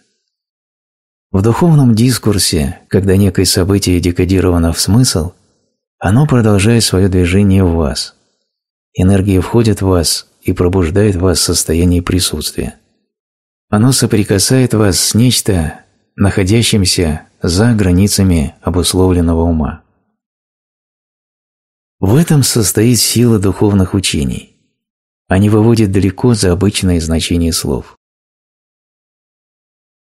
Это относится как к устным, так и к письменным сообщениям. Устные учения даже более энергетически наполнены. Я не знаю, как духовная энергия проникает в написанные слова. Я не делаю ничего специального. Так происходит. Как – это таинство. Как такое возможно? Это всего лишь слова на бумаге, символы. Но все же текст оказывается заряженным энергией, поэтому люди перечитывают его по много раз. В этом сила духовных учений. Другие тексты в основном информация. На 90% книги, что вы покупаете в магазине, в том числе и многие духовные книги, информация. А 10% содержит в себе энергию. Если вы читаете слова Раманы Махарши, вы чувствуете, что они несут в себе духовную энергию, и вы готовы перечитывать их много раз. И каждый раз они новые и свежие. Некоторые древние тексты тоже. Люди, тотально идентифицированные со своим умом, основное внимание уделяют значениям слов. Слова декодируются в мозгу, но движение за их границы не происходит. Сеть ума тут же опутывает их, чтобы извлечь информацию. Я говорю не о собравшихся в этом зале. Это относится к людям с очень плотными ментальными структурами, которые могут слушать или читать только интеллектуально. Да, весьма интересно. Мне понравилось несколько идей. Неплохо. Так, что там у нас дальше? Какая книга? Прекрасно, что слова работают в вас так, как они должны. Очень полезное ваше качество, потому что, зайдя в магазин и взяв в руки книгу, по нескольким прочитанным страницам, даже по нескольким строкам, вы можете сказать заключена в этом тексте духовная энергия или нет.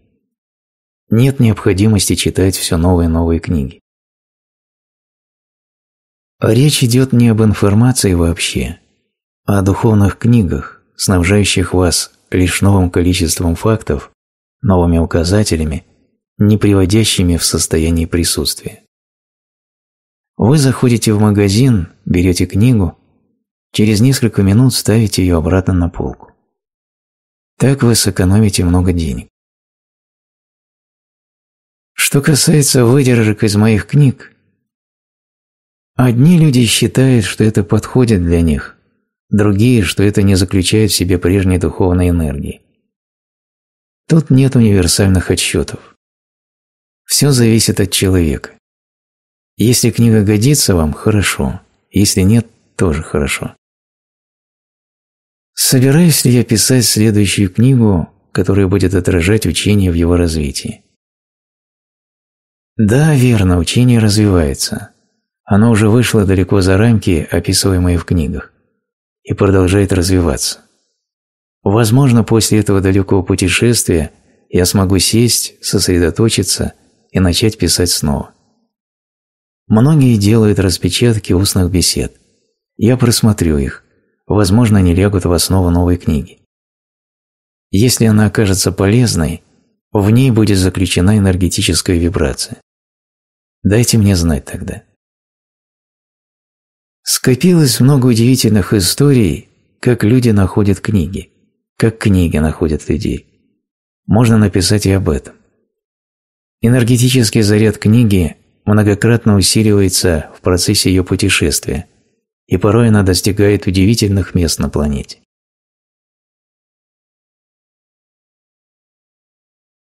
Следующий вопрос. Как мне освободиться от сильного желания отношений с одним человеком? Я поняла, что у меня есть такое желание после 25 лет мучительного брака, в течение которого я не смогла дать ни себе, ни своему мужу ни любви, ни приятия, к которому мы оба страстно стремились. В то же время я чувствую, что мое желание становится триггером для моего тела боли. Даже на этом прекрасном ретрите мое тело боли иногда активизируется по этой причине. Я хорошо осознаю это. Долгое время я испытывала притяжение к мужчине, с которым едва могла позволить себе заговорить. Я не могу заговорить с ним – потому что мое влечение наводит на меня ступор, и я чувствую себя ужасно дискомфортно.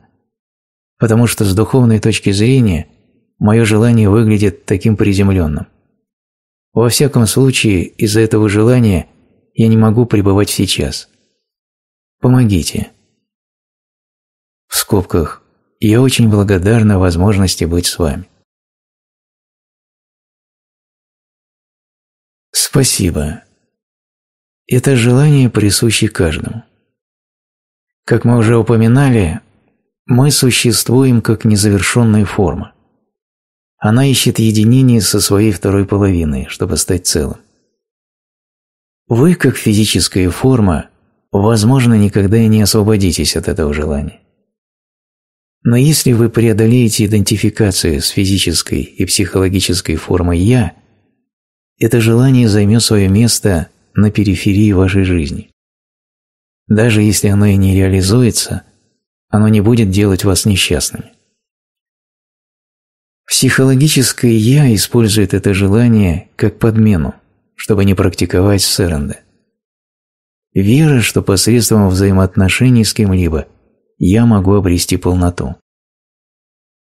Психологическое «я» по своей природе не полно. Физическое «я» не полно, так как является собой половину целого. И психологическое «я» не полно, потому что оно само проистекает из недостаточности – из потребности добавления к себе больше и больше. Часто психологическое «я» полагает, что взаимоотношения с партнером могут восполнить его до завершенности, до целого. Это заставляет продолжать поиски того единственного человека, который сделает вас полными. На физическом уровне это проявляется как притяжение, влечение. На психологическом как страстное желание обрести завершенность, которое подлинно наступает, когда вы трансцендируете свою идентификацию с ментальным образом «я», всегда неполным и всегда проецирующим свою неполноту вовне, например, полагая, что только партнер, он или она, может спасти вас, сделать вас до конца собой, целостным, завершенным. Если вам удается найти такого человека, некоторое время это работает. Затем вы обнаруживаете, что не можете обрести полноту посредством форм, какими бы они ни были. Вам остается только сэренде, то, что есть. В вашем случае полностью принять чувство великой нехватки, чувство одиночества, свое страстное желание к нему. Возможно, вы даже не знаете, кому именно. Вы только чувствуете, что отсутствие чего-то важного является центром вашего существования. Что делать с этим чувством одиночества? Если вы недостаточно бдительны, оно приведет в движение ум. Он начнет сочинять истории о вашей нецелостности, о ваших желаниях. Вы будете постоянно думать об этом, проецировать, воображать, и этим еще больше распалять свое желание. Но если вы позволите себе чувствовать то, что есть, свое одиночество, вы чувствуете его, не сопротивляетесь ему. Возможно, вы даже перестанете его как-то ментально называть. Просто будьте внимательны. Смотрите на него, не анализируйте. Привнесите в него свое присутствие, в это чувство, которого вы никогда не хотели. Если вы будете продолжать от него убегать, оно неизбежно трансформируется в непрекращающиеся мысли. Теперь вы говорите «так есть», и это чувство обладает присущими ему качествами. Вы даете ему столько внимания, что перестаете обозначать как одиночество. Ваше внимание, отдаваемое этому чувству, полно. Ваше приятие его полно, потому что так есть сейчас. Это форма, которую настоящий момент принимает. Вы сэренда его. Обнимаете свое чувство. Смотрите, не убьет ли оно вас. Оно не собирается убивать вас. Оно не собирается поглотить вас. Оно может поглотить ваше эго, если у вас получилось сэренда. Затем неожиданно вы замечаете, что одиночество преобразовалось во что-то другое. Я не хочу забивать вашу голову различными идеями, во что оно превратится. Вы сэренде, и страстное желание превращается в интенсивную жизненность. Желание до конца принято.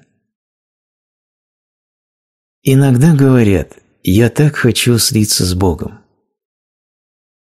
Как противоположное поле желания, Бог всегда скрыт. Но это ложная интерпретация ума, который говорит, что у вас нет связи с Богом, что Он не здесь. Возлюбленный – это противоположный полюс одиночества. И неожиданно вы переживаете чувство полноты бытия, потому что вы тотально сэрнде свое чувство. Тогда вы выходите за пределы психологической потребности в отношениях. Не рассматривайте их как средство обретения полноты себя. На физическом уровне, на уровне тела, может остаться сексуальное желание, эмоциональное притяжение. Если вы мужчина, вас может притягивать энергетическое поле женщины. Если вы женщина, вы можете желать энергетического поля мужчины. Но теперь это станет относительно неважным. Желание не будет накрывать вас с головой, так как в глубине себя вы переживаете такую полноту, что все остальное приобретает качество незначительных волн на поверхности вашего бытия, на уровне форм. Они не могут вас больше сделать несчастными. Затем, возможно, вы встретите кого-нибудь. Весьма вероятно, что сложатся хорошие взаимоотношения, потому что он вам уже больше не нужен, потому что нет ожидания, что этот человек должен сделать вас полными. Ни один человек не сможет этого выполнить. Это невозможная задача. Это невозможное требование. Любой потерпит здесь неудачу, не сможет обеспечить вам полноту бытия. Но у вас теперь нет ожидания, нет потребности, чтобы данный человек сделал вашу жизнь полной. Поэтому, скорее всего, взаимоотношения сложатся весьма приемлемые, так как глубоко затаенная психологическая потребность ушла. Если встреча произошла, вы приветствуете взаимоотношения. Если нет, тоже хорошо. В этом есть своя красота. Не у всех одинаковые предназначения. В уединении есть особая красота. В одиночестве нет. Уединение возникает, когда вы одиноки, и у вас получается сэренде свое одиночество. В уединенности даже есть нечто сакральное. Одиночество – это быть одному и ненавидеть, не желать этого. Когда вы сэрен до одиночества, оно превращается в уединение, в глубокое чувство единости с самим бытием. Потому что на самом деле вы искали связь с Богом посредством другого человека. Но только через Сэренда вы можете ее обрести, найти Бога. Вот ваша духовная практика. Работайте со своим чувством. Не ищите партнера. Поиск – это не есть ваша духовная практика. Вы пишете «Чувство одиночества не дает мне пребывать в настоящем». Потому что чувство неполноты и недостаточности приводит в движение ум, который в свою очередь уводит вас из сейчас. Но именно то чувство, которое уводит вас из сейчас, может и привести вас обратно в сейчас. Дайте ему свое внимание, обнимите его. Не нужно бежать от него. Приветствуйте одиночество, и оно превратится во что-то другое. Прекрасно. Прикосновение к вечности. День пятый, Духовная практика и сопротивление. Часть первая.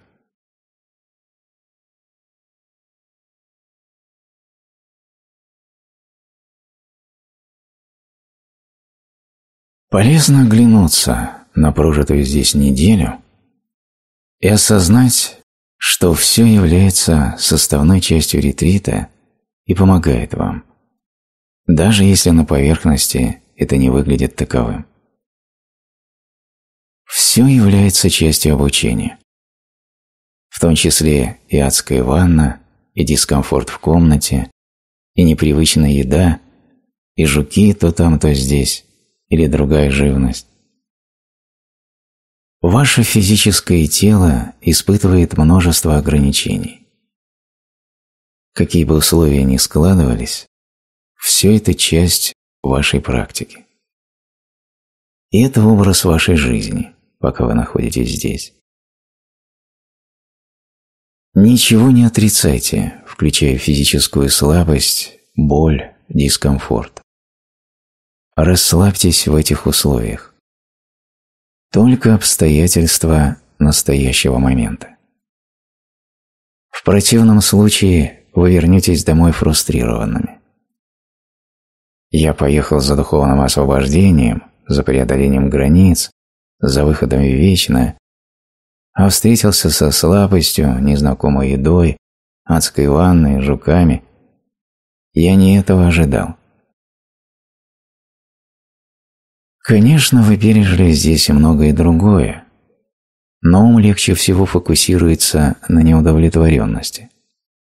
Другими словами, на ограничениях жизни.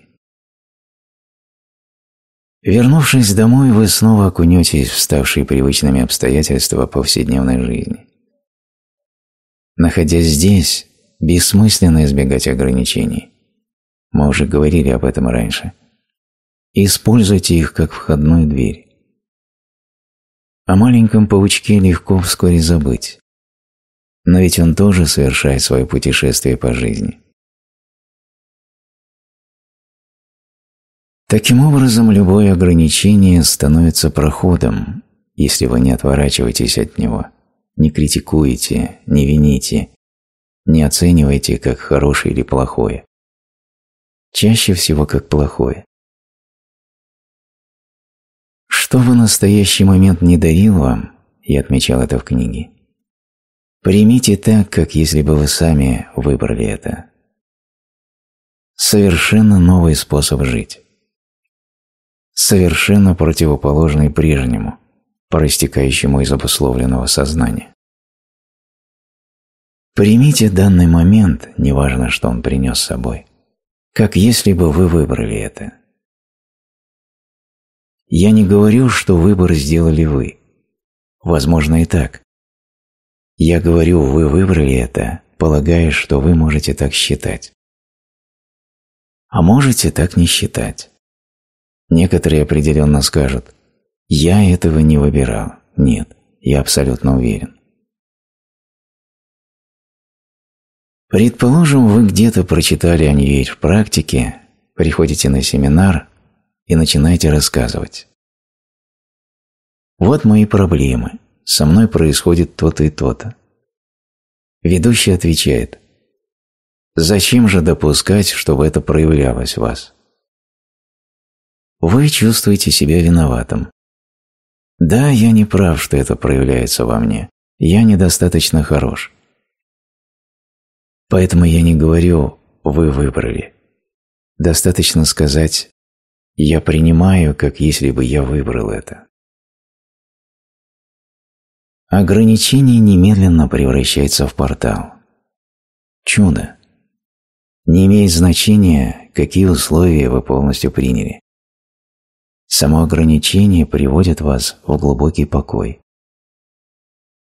Если ограничение выглядит абсолютно неприемлемым, ваша серенде должна быть соответствующей глубины.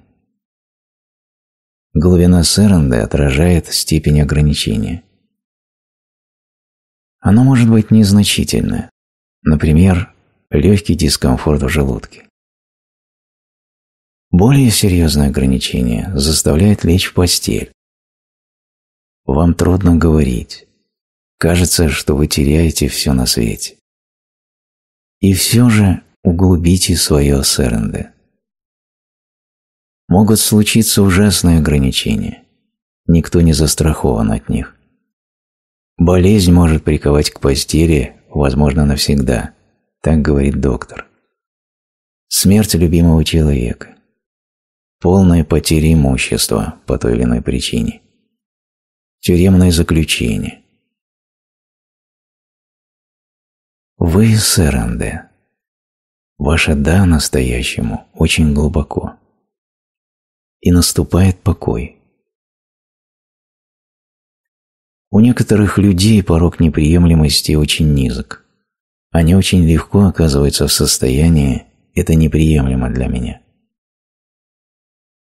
Многие из вас на протяжении этой недели наверняка переживали нечто подобное. Само событие незначительное, но реакция на него как на что-то громадное. Возможно, это и так, если вы привыкли к суперкомфортабельной жизни. Многие люди, даже если они прежде ничего не знали о духовных учениях, оказавшись перед лицом неприемлемого, спонтанно входят в состояние «да». Мы называем его «сэренде». Приятие так глубоко, что все реакции эгоистического «я» схлопываются в одно глубокое «да». И душевный мир больше не покидает их. Они поселяются в этом вечном внутреннем покое. Тысячу лет тому назад у первого духовного учителя не было никакого учения. Мастер должен был с чего-то начать. Он был обычным человеком, который вдруг оказался лицом к лицу с неприемлемым. Великое страдание и затем глубокое «да». Глубина «да» отражала глубину страдания и соответствовала степени ограничения. Произошел сдвиг сознания. Через какое-то время люди стали спрашивать, «Нам непонятно, что с тобой происходит будто у тебя есть что-то, чего нет у нас, и что мы хотели бы иметь. Нет, у меня ничего такого нет. Постепенно из его слов родились первые указатели. Начало складываться учение. Не нужно отчаиваться из-за экстремальных ограничений или страданий. С с ним произошло как добровольное «да».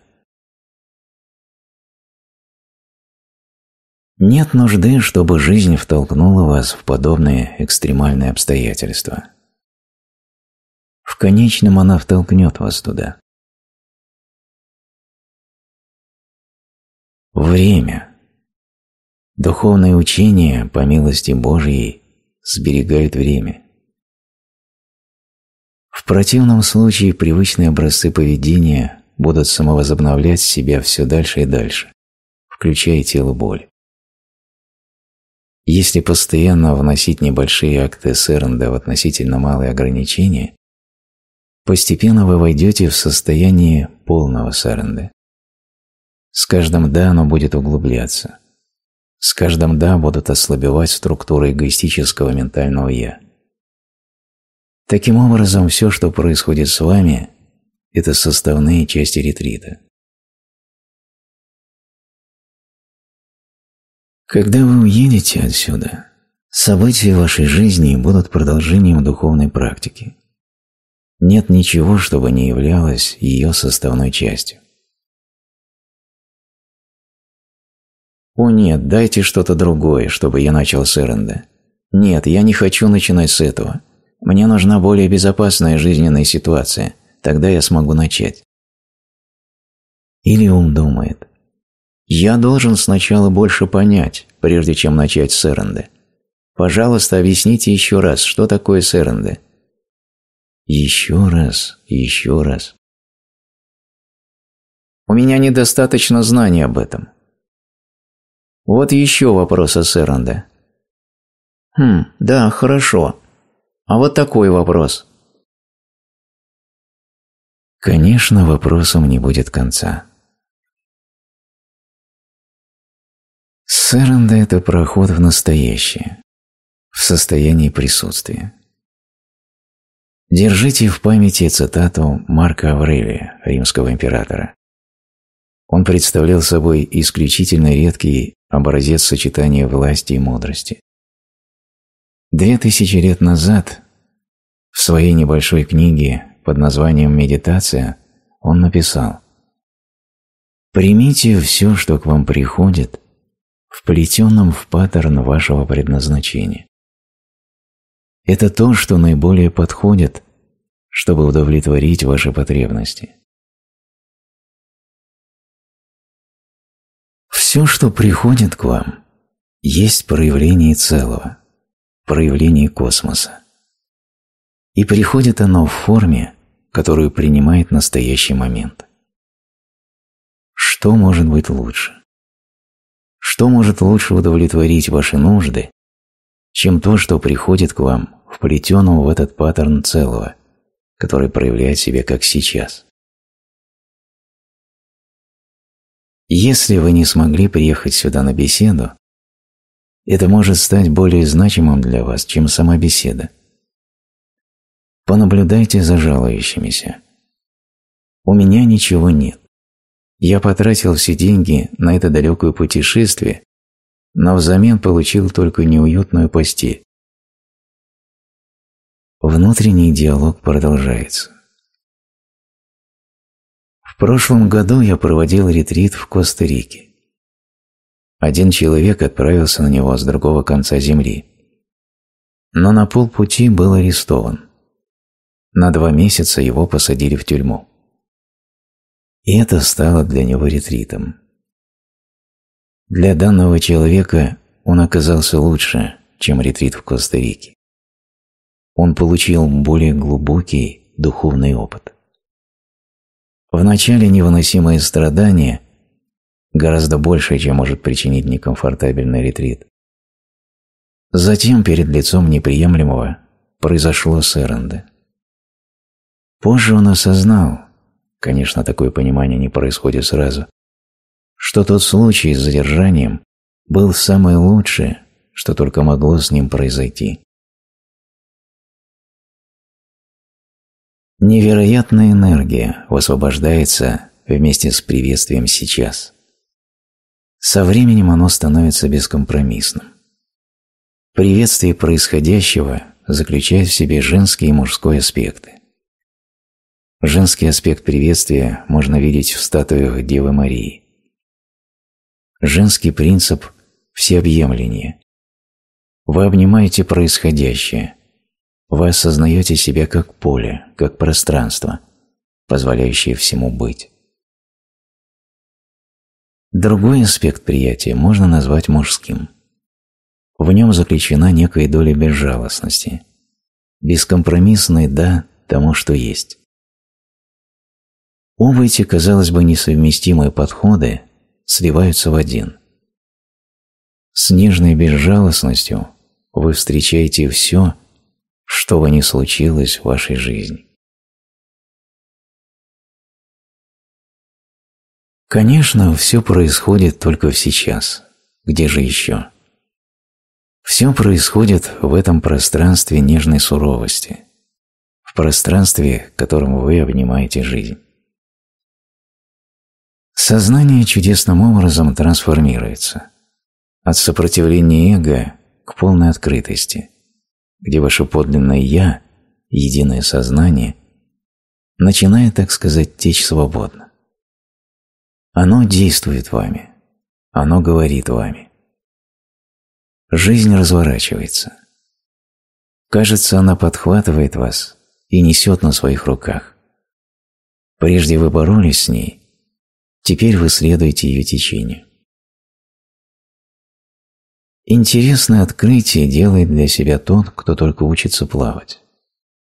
Вначале он прикладывает неимоверные усилия, чтобы голова оставалась на поверхности. Он борется с водой. Таково состояние, в котором обычно пребывает эго. Вы все время боретесь, чтобы голова, так сказать, оставалась над водой. Когда же это кончится? Я больше не могу.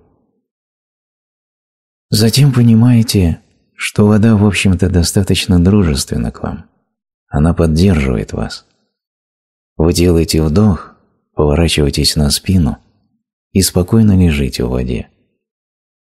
Легкие незначительные движения. Вы стали едины с водой.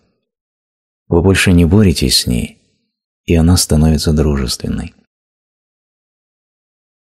Когда происходит сдвиг сознания от сопротивления к Серенде, жизнь становится такой же. Универсум больше не переживается как нечто враждебное. Когда человек в эгоистическом состоянии сознания, универсум по большей части пугает его. Человек уповает, что наступит день, и он попадет туда, где обретет все, что он хочет.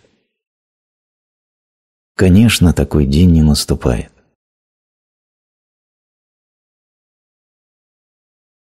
Итак, бескомпромиссное «да». Отпадает волнение насчет возникающих мыслей. Как мне отделаться от них, от ментального шума? Бескомпромиссное «да» сделает это. Ментальный шум ослабнет. Конечно, он обладает инерцией и какое-то время будет сохраняться, но он перестанет быть проблемой. Временами небольшой ментальный шум. Хорошо. Наблюдайте за глубоко укоренившимся паттерном ментального шума. Он связан со структурами эго, а они обладают невероятной инерцией.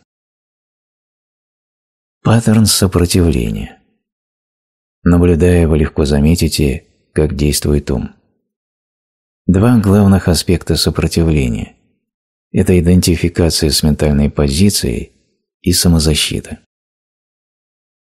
Стереотип сопротивления является источником большинства проблем во взаимоотношениях между людьми. Аргументы в споре возникают из неотслеживаемой идентификации с занимаемой позицией. Мнение, точка зрения, верование, идея. Ментальная позиция принимается за «я».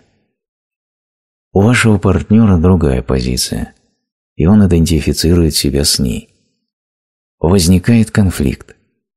Оба черпают чувство своего «я» из своей ментальной позиции. Таким образом, Две вещи приводят к конфликтам в отношениях. Идентификация с телом боли и идентификация с ментальной позицией. Часто обе идут вместе. Ментальная позиция усиливает тело боли. И это называется ад.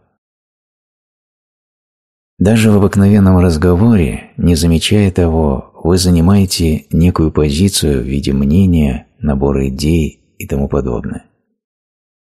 Другой человек говорит «Нет-нет, все не так». Вы начинаете защищать себя. Это происходит безотчетно. На вас никто не нападал, но вы полагаете, что вам причинили ущерб, если вы идентифицированы с верованием или идеей, или с любой другой ментальной позицией. Вы защищаетесь, будто речь идет о вашей жизни и это не осознается. Во взаимодействии между людьми подобное наблюдается повсеместно. Ментальная позиция. В ней нет реального «я», это лишь точка зрения. За отождествлением идет самозащита. Она возникает совершенно автоматически, когда умом созданному «я» начинает что-то угрожать. Кто-то что-то сказал. И это сделали вы. Или вы это не сделали. Или вы испортили все дело. Ваше «я» автоматически встает на защиту себя. В теле возникают зажимы и чрезмерные эмоции. Нет, это сделал не я, а ты. Все, что требуется, это наблюдать, как быстро и автоматически рождается самозащита. Вы защищаете ваше «я». Но это «я» – иллюзия. «Я» всегда хочет быть правым. Другая очень близкая мотивация – держать «я» в неприкосновенности, так как чувство «я» напрямую связано с позицией правоты. Таким образом, духовная практика состоит в том, чтобы наблюдать за самозащитой, когда она возникает, или наблюдать, когда уже все произошло. А, опять это было. Ну ладно. Возможно, в другой раз у вас получится заметить возникновение самозащиты в разгар процесса. Защищая иллюзию, вы попадаете в ловушку. В курсе чудес хорошо сказано.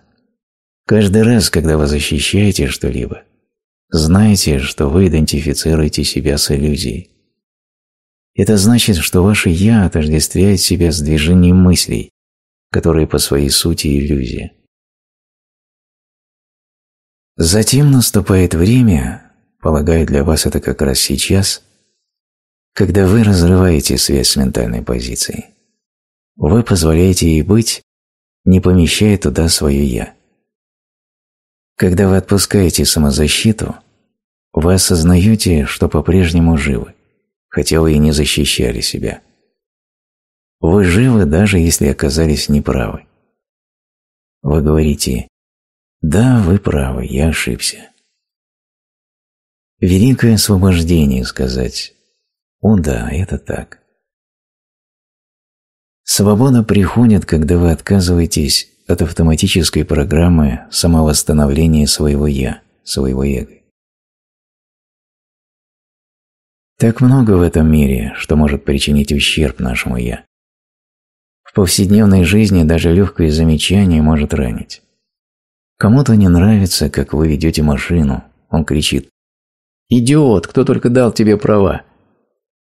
Чувство «я» моментально бросается восстанавливать себя потому что идиот ранит умом сформированное «я». Вы думаете про себя, что вы не идиот. Моментально включается механизм самозащиты, и вы кричите в ответ зачастую еще громче. На каком-то уровне это срабатывает. Вы чувствуете себя немного лучше, ущерб компенсирован. Ваш ответный крик – своего рода заплатка. Неприкосновенность вашего «я» восстановлена, и вы едете дальше. Это лишь маленький пример. Но как часто происходит нечто подобное, когда вас критикуют, когда кто-то обсуждает те или другие ваши действия. Или наоборот вас хвалят, вам говорят, что вы хороший. Мир может и такое говорить вам какое-то время, пока не изменит свое мнение. Наблюдайте автоматическую реакцию механизма самозащиты, как она моментально активизируется. Этот механизм очень силен в бессознательных людях. Их еще очень и очень много на планете. Потребность быть правым. Она порождает физическое насилие. Даже между нациями потребность быть правыми. Другой не прав. Не знаю, встречается ли такой феномен в Индии. На Западе он называется «гнев на дороге». Дело не ограничивается криками. Водители выходят из машины и начинают драться. Продолжение механизма самовосстановления. Для бессознательного человека окончательным триумфом будет убить другого человека. Иллюзорное «я» будет в этом случае тотально восстановлена. Правда, другие люди посадят вас в тюрьму, но, по крайней мере, вы пережили триумф своего «я». Когда вы захвачены механизмом самовосстановления, вы готовы пойти в тюрьму на всю оставшуюся жизнь за краткий момент триумфа иллюзорного «я». И это стоит того, говорит маленькое «я» самому себе. Но жизнь великодушна. Она предоставит вам 50 лет духовной практики в тюремной камере. Когда вы говорите с кем-нибудь, наблюдайте за своей самозащитой. Приходит великое освобождение, когда не нужно ничего защищать. В противном случае постоянная неосознаваемая потребность защищать свое «я». Но вы отказываетесь от нее. Если вернуться к нашему примеру, кто-то кричит вам «Идиот!», вы посмотрели на него и продолжаете вести машину. Нет ничего, что требует восстановления. Он кричит снова, потому что думает, что вы глухой. Великое освобождение, потому что это освобождение от мыслей, освобождение от эго, от потребности в правоте. У вас достаточно присутствия. Вы можете в это играть. Вы наблюдаете за движением энергии, вы отпускаете свою привязанность к «я», вы позволяете ему уйти вместе со вновь возникающим настоящим. Появляется пространство. Ты сделал то-то и то-то, ты такой-то и такой-то. Может быть, это правда, а может быть и нет. Пространство. Я сделал это. Вы смотрите. Это сделал я? Затем отвечайте. С вашей точки зрения выглядит, будто это сделал я. Но вы заблуждаетесь. Или вы говорите «Вы правы, и это сделал я». И вы снова свободны. Все реакции, все отреагирования в своей глубине эгоистичны. Все реакции – это быть против. И вот вы переходите от реакции к ответу. Вы отвечаете на ситуацию из состояния присутствия. Иисус и его парабола «Подставь другую щеку». Кто-то ударил вас по щеке, нормальная реакция тут же ударить в ответ, так принято. Конечно, «подставь другую щеку» – это метафора. Это экстремальный пример не самозащиты и не реакции. Не нужно относиться буквально. Это парабола. Другой параболой является притча о дзенском учителе. Я ее часто рассказываю. В одном японском городе жил почитаемый дзенский мастер. Шестнадцатилетняя девушка забеременела и сказала родителям, что дзен-мастер соблазнил ее, когда она посещала его несколько месяцев тому назад. Родители пошли к учителю. «Ты соблазнил нашу дочь. Ты лжеучитель, обманщик. Наша дочь утверждает, что ты отец ребенка. Родители продолжали говорить и говорить, а мастер молча слушал их. Затем сказал, «Так есть?» «Да, ты отец ребенка». «Так есть?» «Да». Когда ребенок родился, они не захотели оставлять его у себя и принесли дзен-мастеру. «Вот, твой ребенок, ты заботься о нем», – мастер сказал. «Так есть?» «Да», – ответили родители и ушли. Люди перестали приходить к мастеру. Он потерял репутацию. Все, что ему оставалось, это ухаживать за ребенком. И он делал это потому, что так есть. Он принял форму, которую выбрал для себя настоящий момент. Он не жил умом, созданным «я». Потеря репутации не превратилась в историю в его голове, как это обычно бывает в случаях идентификации. Факт – вот ребенок. Никто ко мне не приходит, хорошо. Никого нет, нет и проблем. Есть ребенок и пустое пространство. Прекрасно. Нет никакой идентификации ума, никакого «О, моя репутация, выстраиваемая столько лет, моя жизнь разрушена, что они сделали со мной?» Никто ничего не сделал. Приветствие настоящего момента. Не реакция. Через несколько лет девушка повзрослела и призналась родителям, что отец ребенка не дзен-мастер, а соседский парень. Родители побежали к мастеру. «Пожалуйста, прости нас. Мы только что узнали, что не ты отец». «Так есть», — сказал мастер. Да, мы хотим забрать ребенка к себе. О, если так есть, вот, пожалуйста. Ничего не случилось. Это экстремальный пример жизни, проживаемой в состоянии нереакции. Пример полного отсутствия драмы в таковости жизни. Внешне это выглядит как драма, но для сознания в состоянии Сэренды нет никакой драмы она не может возникнуть. Удивительным образом жизнь остается простой, ясной, непроблематичной, потому что нет чувства «я», нет идентификации и истории. «Я» мастера рождалась из настоящего, из сейчас. Пространство сейчас, не обусловленное, не имеющее формы сознания. Какие проблемы могут быть здесь? Таким образом, посредством нереакции кончается карма. В присутствии нереакции карма немедленно испаряется. Карма есть последовательность действие, реакция, действие, реакция. Внесите не реакция, суть саренды, и карма обрывается. Это единственный способ, каким карма может исчезнуть, а не со временем, сколько бы его ни отводилось. Она возобновляет себя посредством времени. Только через невременное она исчезает. Все духовные учения, Иисус и Будда, указывали, что великая сила приходит вместе с нереакцией, которая в своей сути есть сэренда. Конец всем драмам вашей жизни.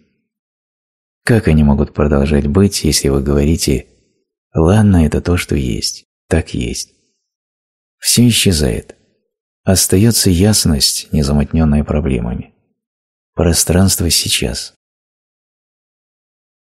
Ум может сказать «Так я превращусь в коврик перед дверью для вытирания ног. Я не хочу». В нереакции заключена большая сила. Полный отказ от самозащиты, но невероятная мощь начинает идти через вас. Есть такая история. Будда ходил из города в город, из деревни в деревню, временами встречая людей, оскорблявших его. Такова была их ментальная позиция. Они кричали на него. Ученики спрашивали, «Почему ты позволяешь им кричать на тебя и оскорблять?» Будда ответил, «Здесь никого нет, кого можно оскорбить. Они думают, что кого-то могут оскорбить, но его здесь нет». Все проходило мимо, так как не было умом созданного образования, которое могло бы оскорбиться. Кто-то крикнул «Идиот!», но никого нет, кто бы вцепился в этот звук. Он прошел мимо. «Идиот? Где? Кто?» Ничто не может превалировать над силой присутствия в настоящем. Да, не надо недооценивать инерцию коллективного человеческого ума и общепринятых стереотипов поведения. Однако ничто не сравнимо с силой присутствия. Ум с его паттернами поведения исчезает. Да, не надо недооценивать сумасшествие эго, но ничто не сравнимо с мощью настоящего. В курсе чудес сказано «Эго безумно, и не надо недооценивать степень этого безумия». Совершенно верно. Оно очень безумно.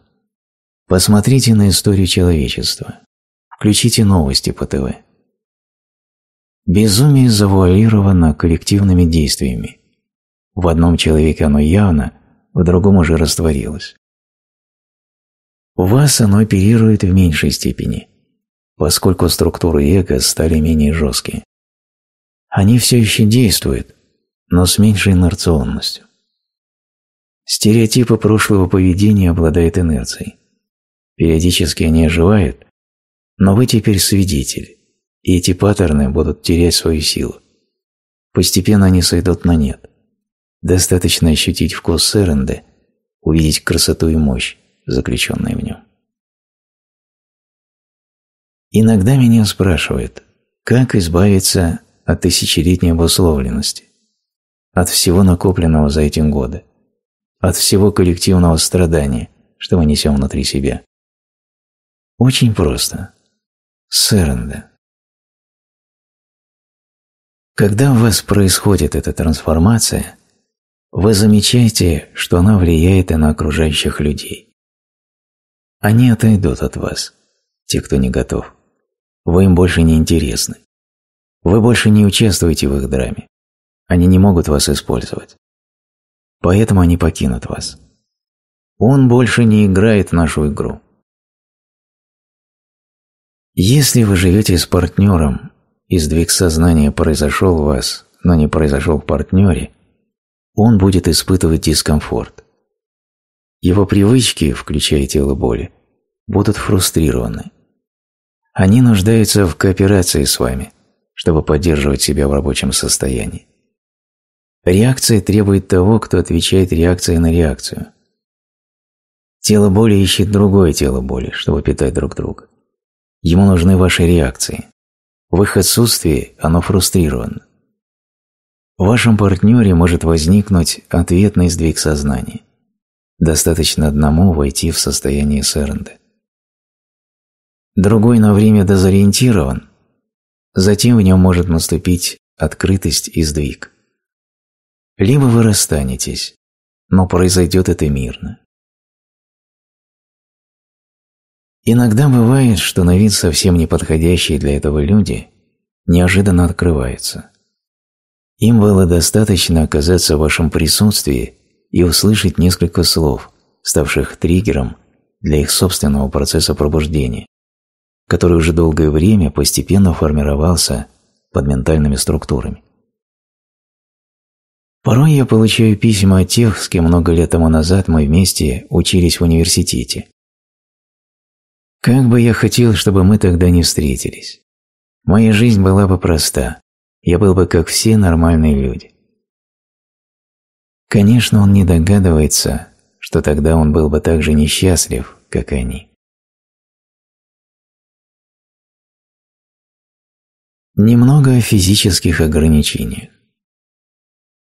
Мне передавали, что у некоторых из вас возникают здесь физические проблемы.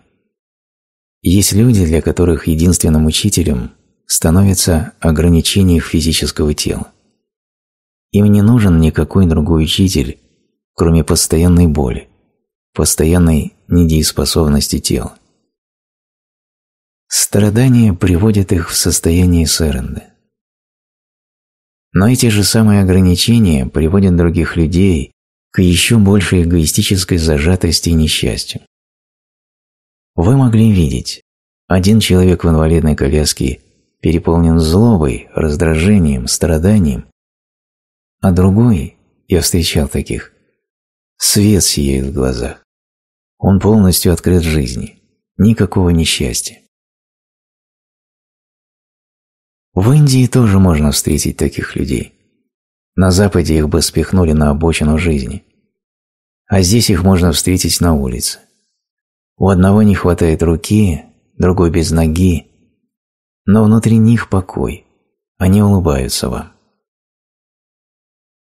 Физические ограничения привели их в состояние сэренды.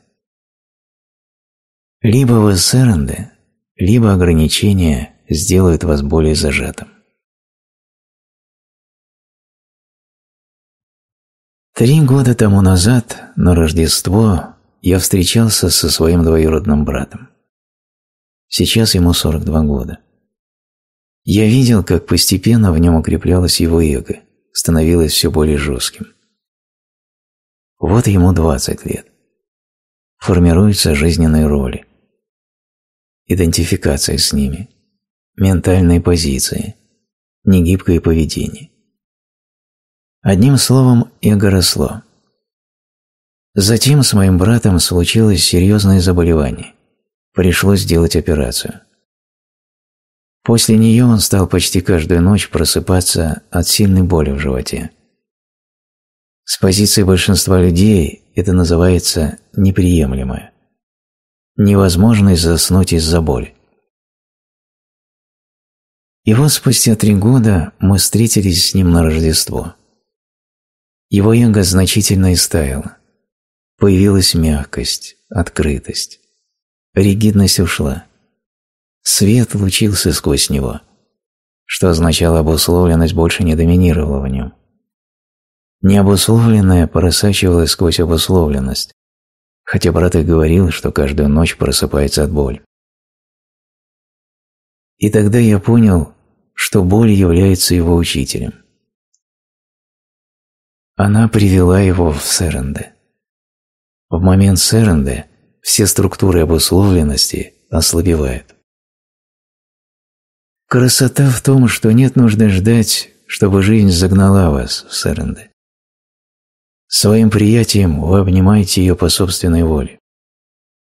В этом красота духовных учений. Вы говорите «да». Вы выбираете Царствие Небесное. Вас не нужно туда тянуть, загонять пинками. Вас подвело к этой точке предшествующее страдание. И теперь вы по своей воле обнимаете то, что есть сейчас. Это все. Дополнительное страдание вам не нужно. Возникновение присутствия ускоряется само. Иногда имеет место неверное понимание. Я говорил о красоте страдания. Оно может стать учителем и подвести к сыренде.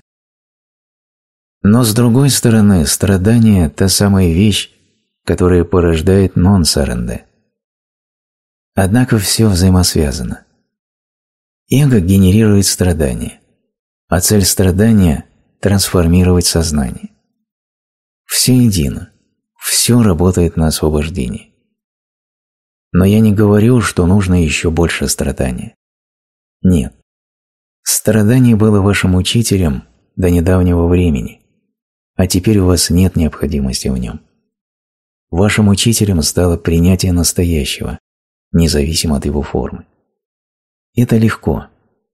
Настоящий момент прост, когда вы вносите в него «да». Вспомните дзен-мастера. Что бы ни приносил с собой настоящий момент, так есть, ну хорошо. Такова благодать сейчас. Настолько глубокая, что исчезает противоположный полюс. Хорошее и плохое на поверхности явлений. Будущее не может содержать большего блага, чем сейчас. И тогда несложно отказаться от будущего. В практической жизни оно продолжает работать, все нормально.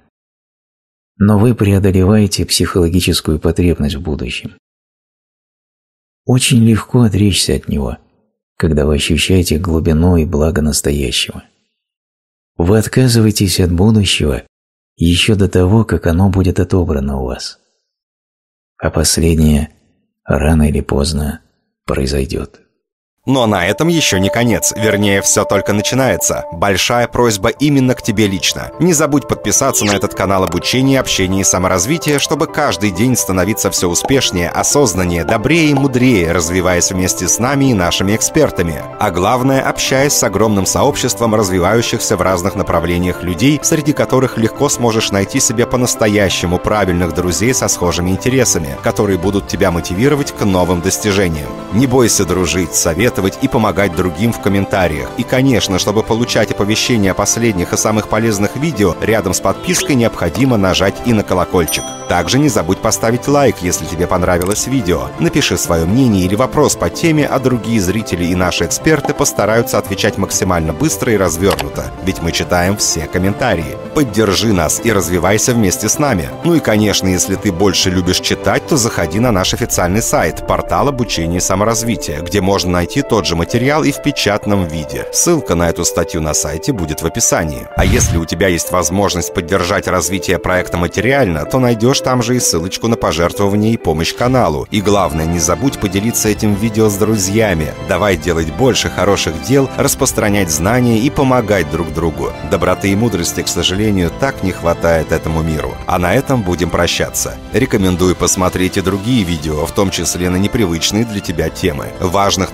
направлений саморазвития на самом деле очень много, поэтому мы подготовили большой набор лучших материалов, чтобы каждый мог найти нужное, а также имел возможность развиваться в разных темах, а не только зацикливаться одной, сужая тем самым свое видение, мышление и мировоззрение. Естественно, желаю тебе в любом случае мудрости, любви, успеха и всех остальных благ. Хорошего и продуктивного тебе сегодняшнего дня. А сейчас отправляйся заниматься полезными и добрыми делами в реальной жизни. Или, чтобы стать еще мудрее, переходи к просмотру следующего видео на автовоспроизведении или из тех, которые ты сейчас увидишь перед собой на экране. Всем добра!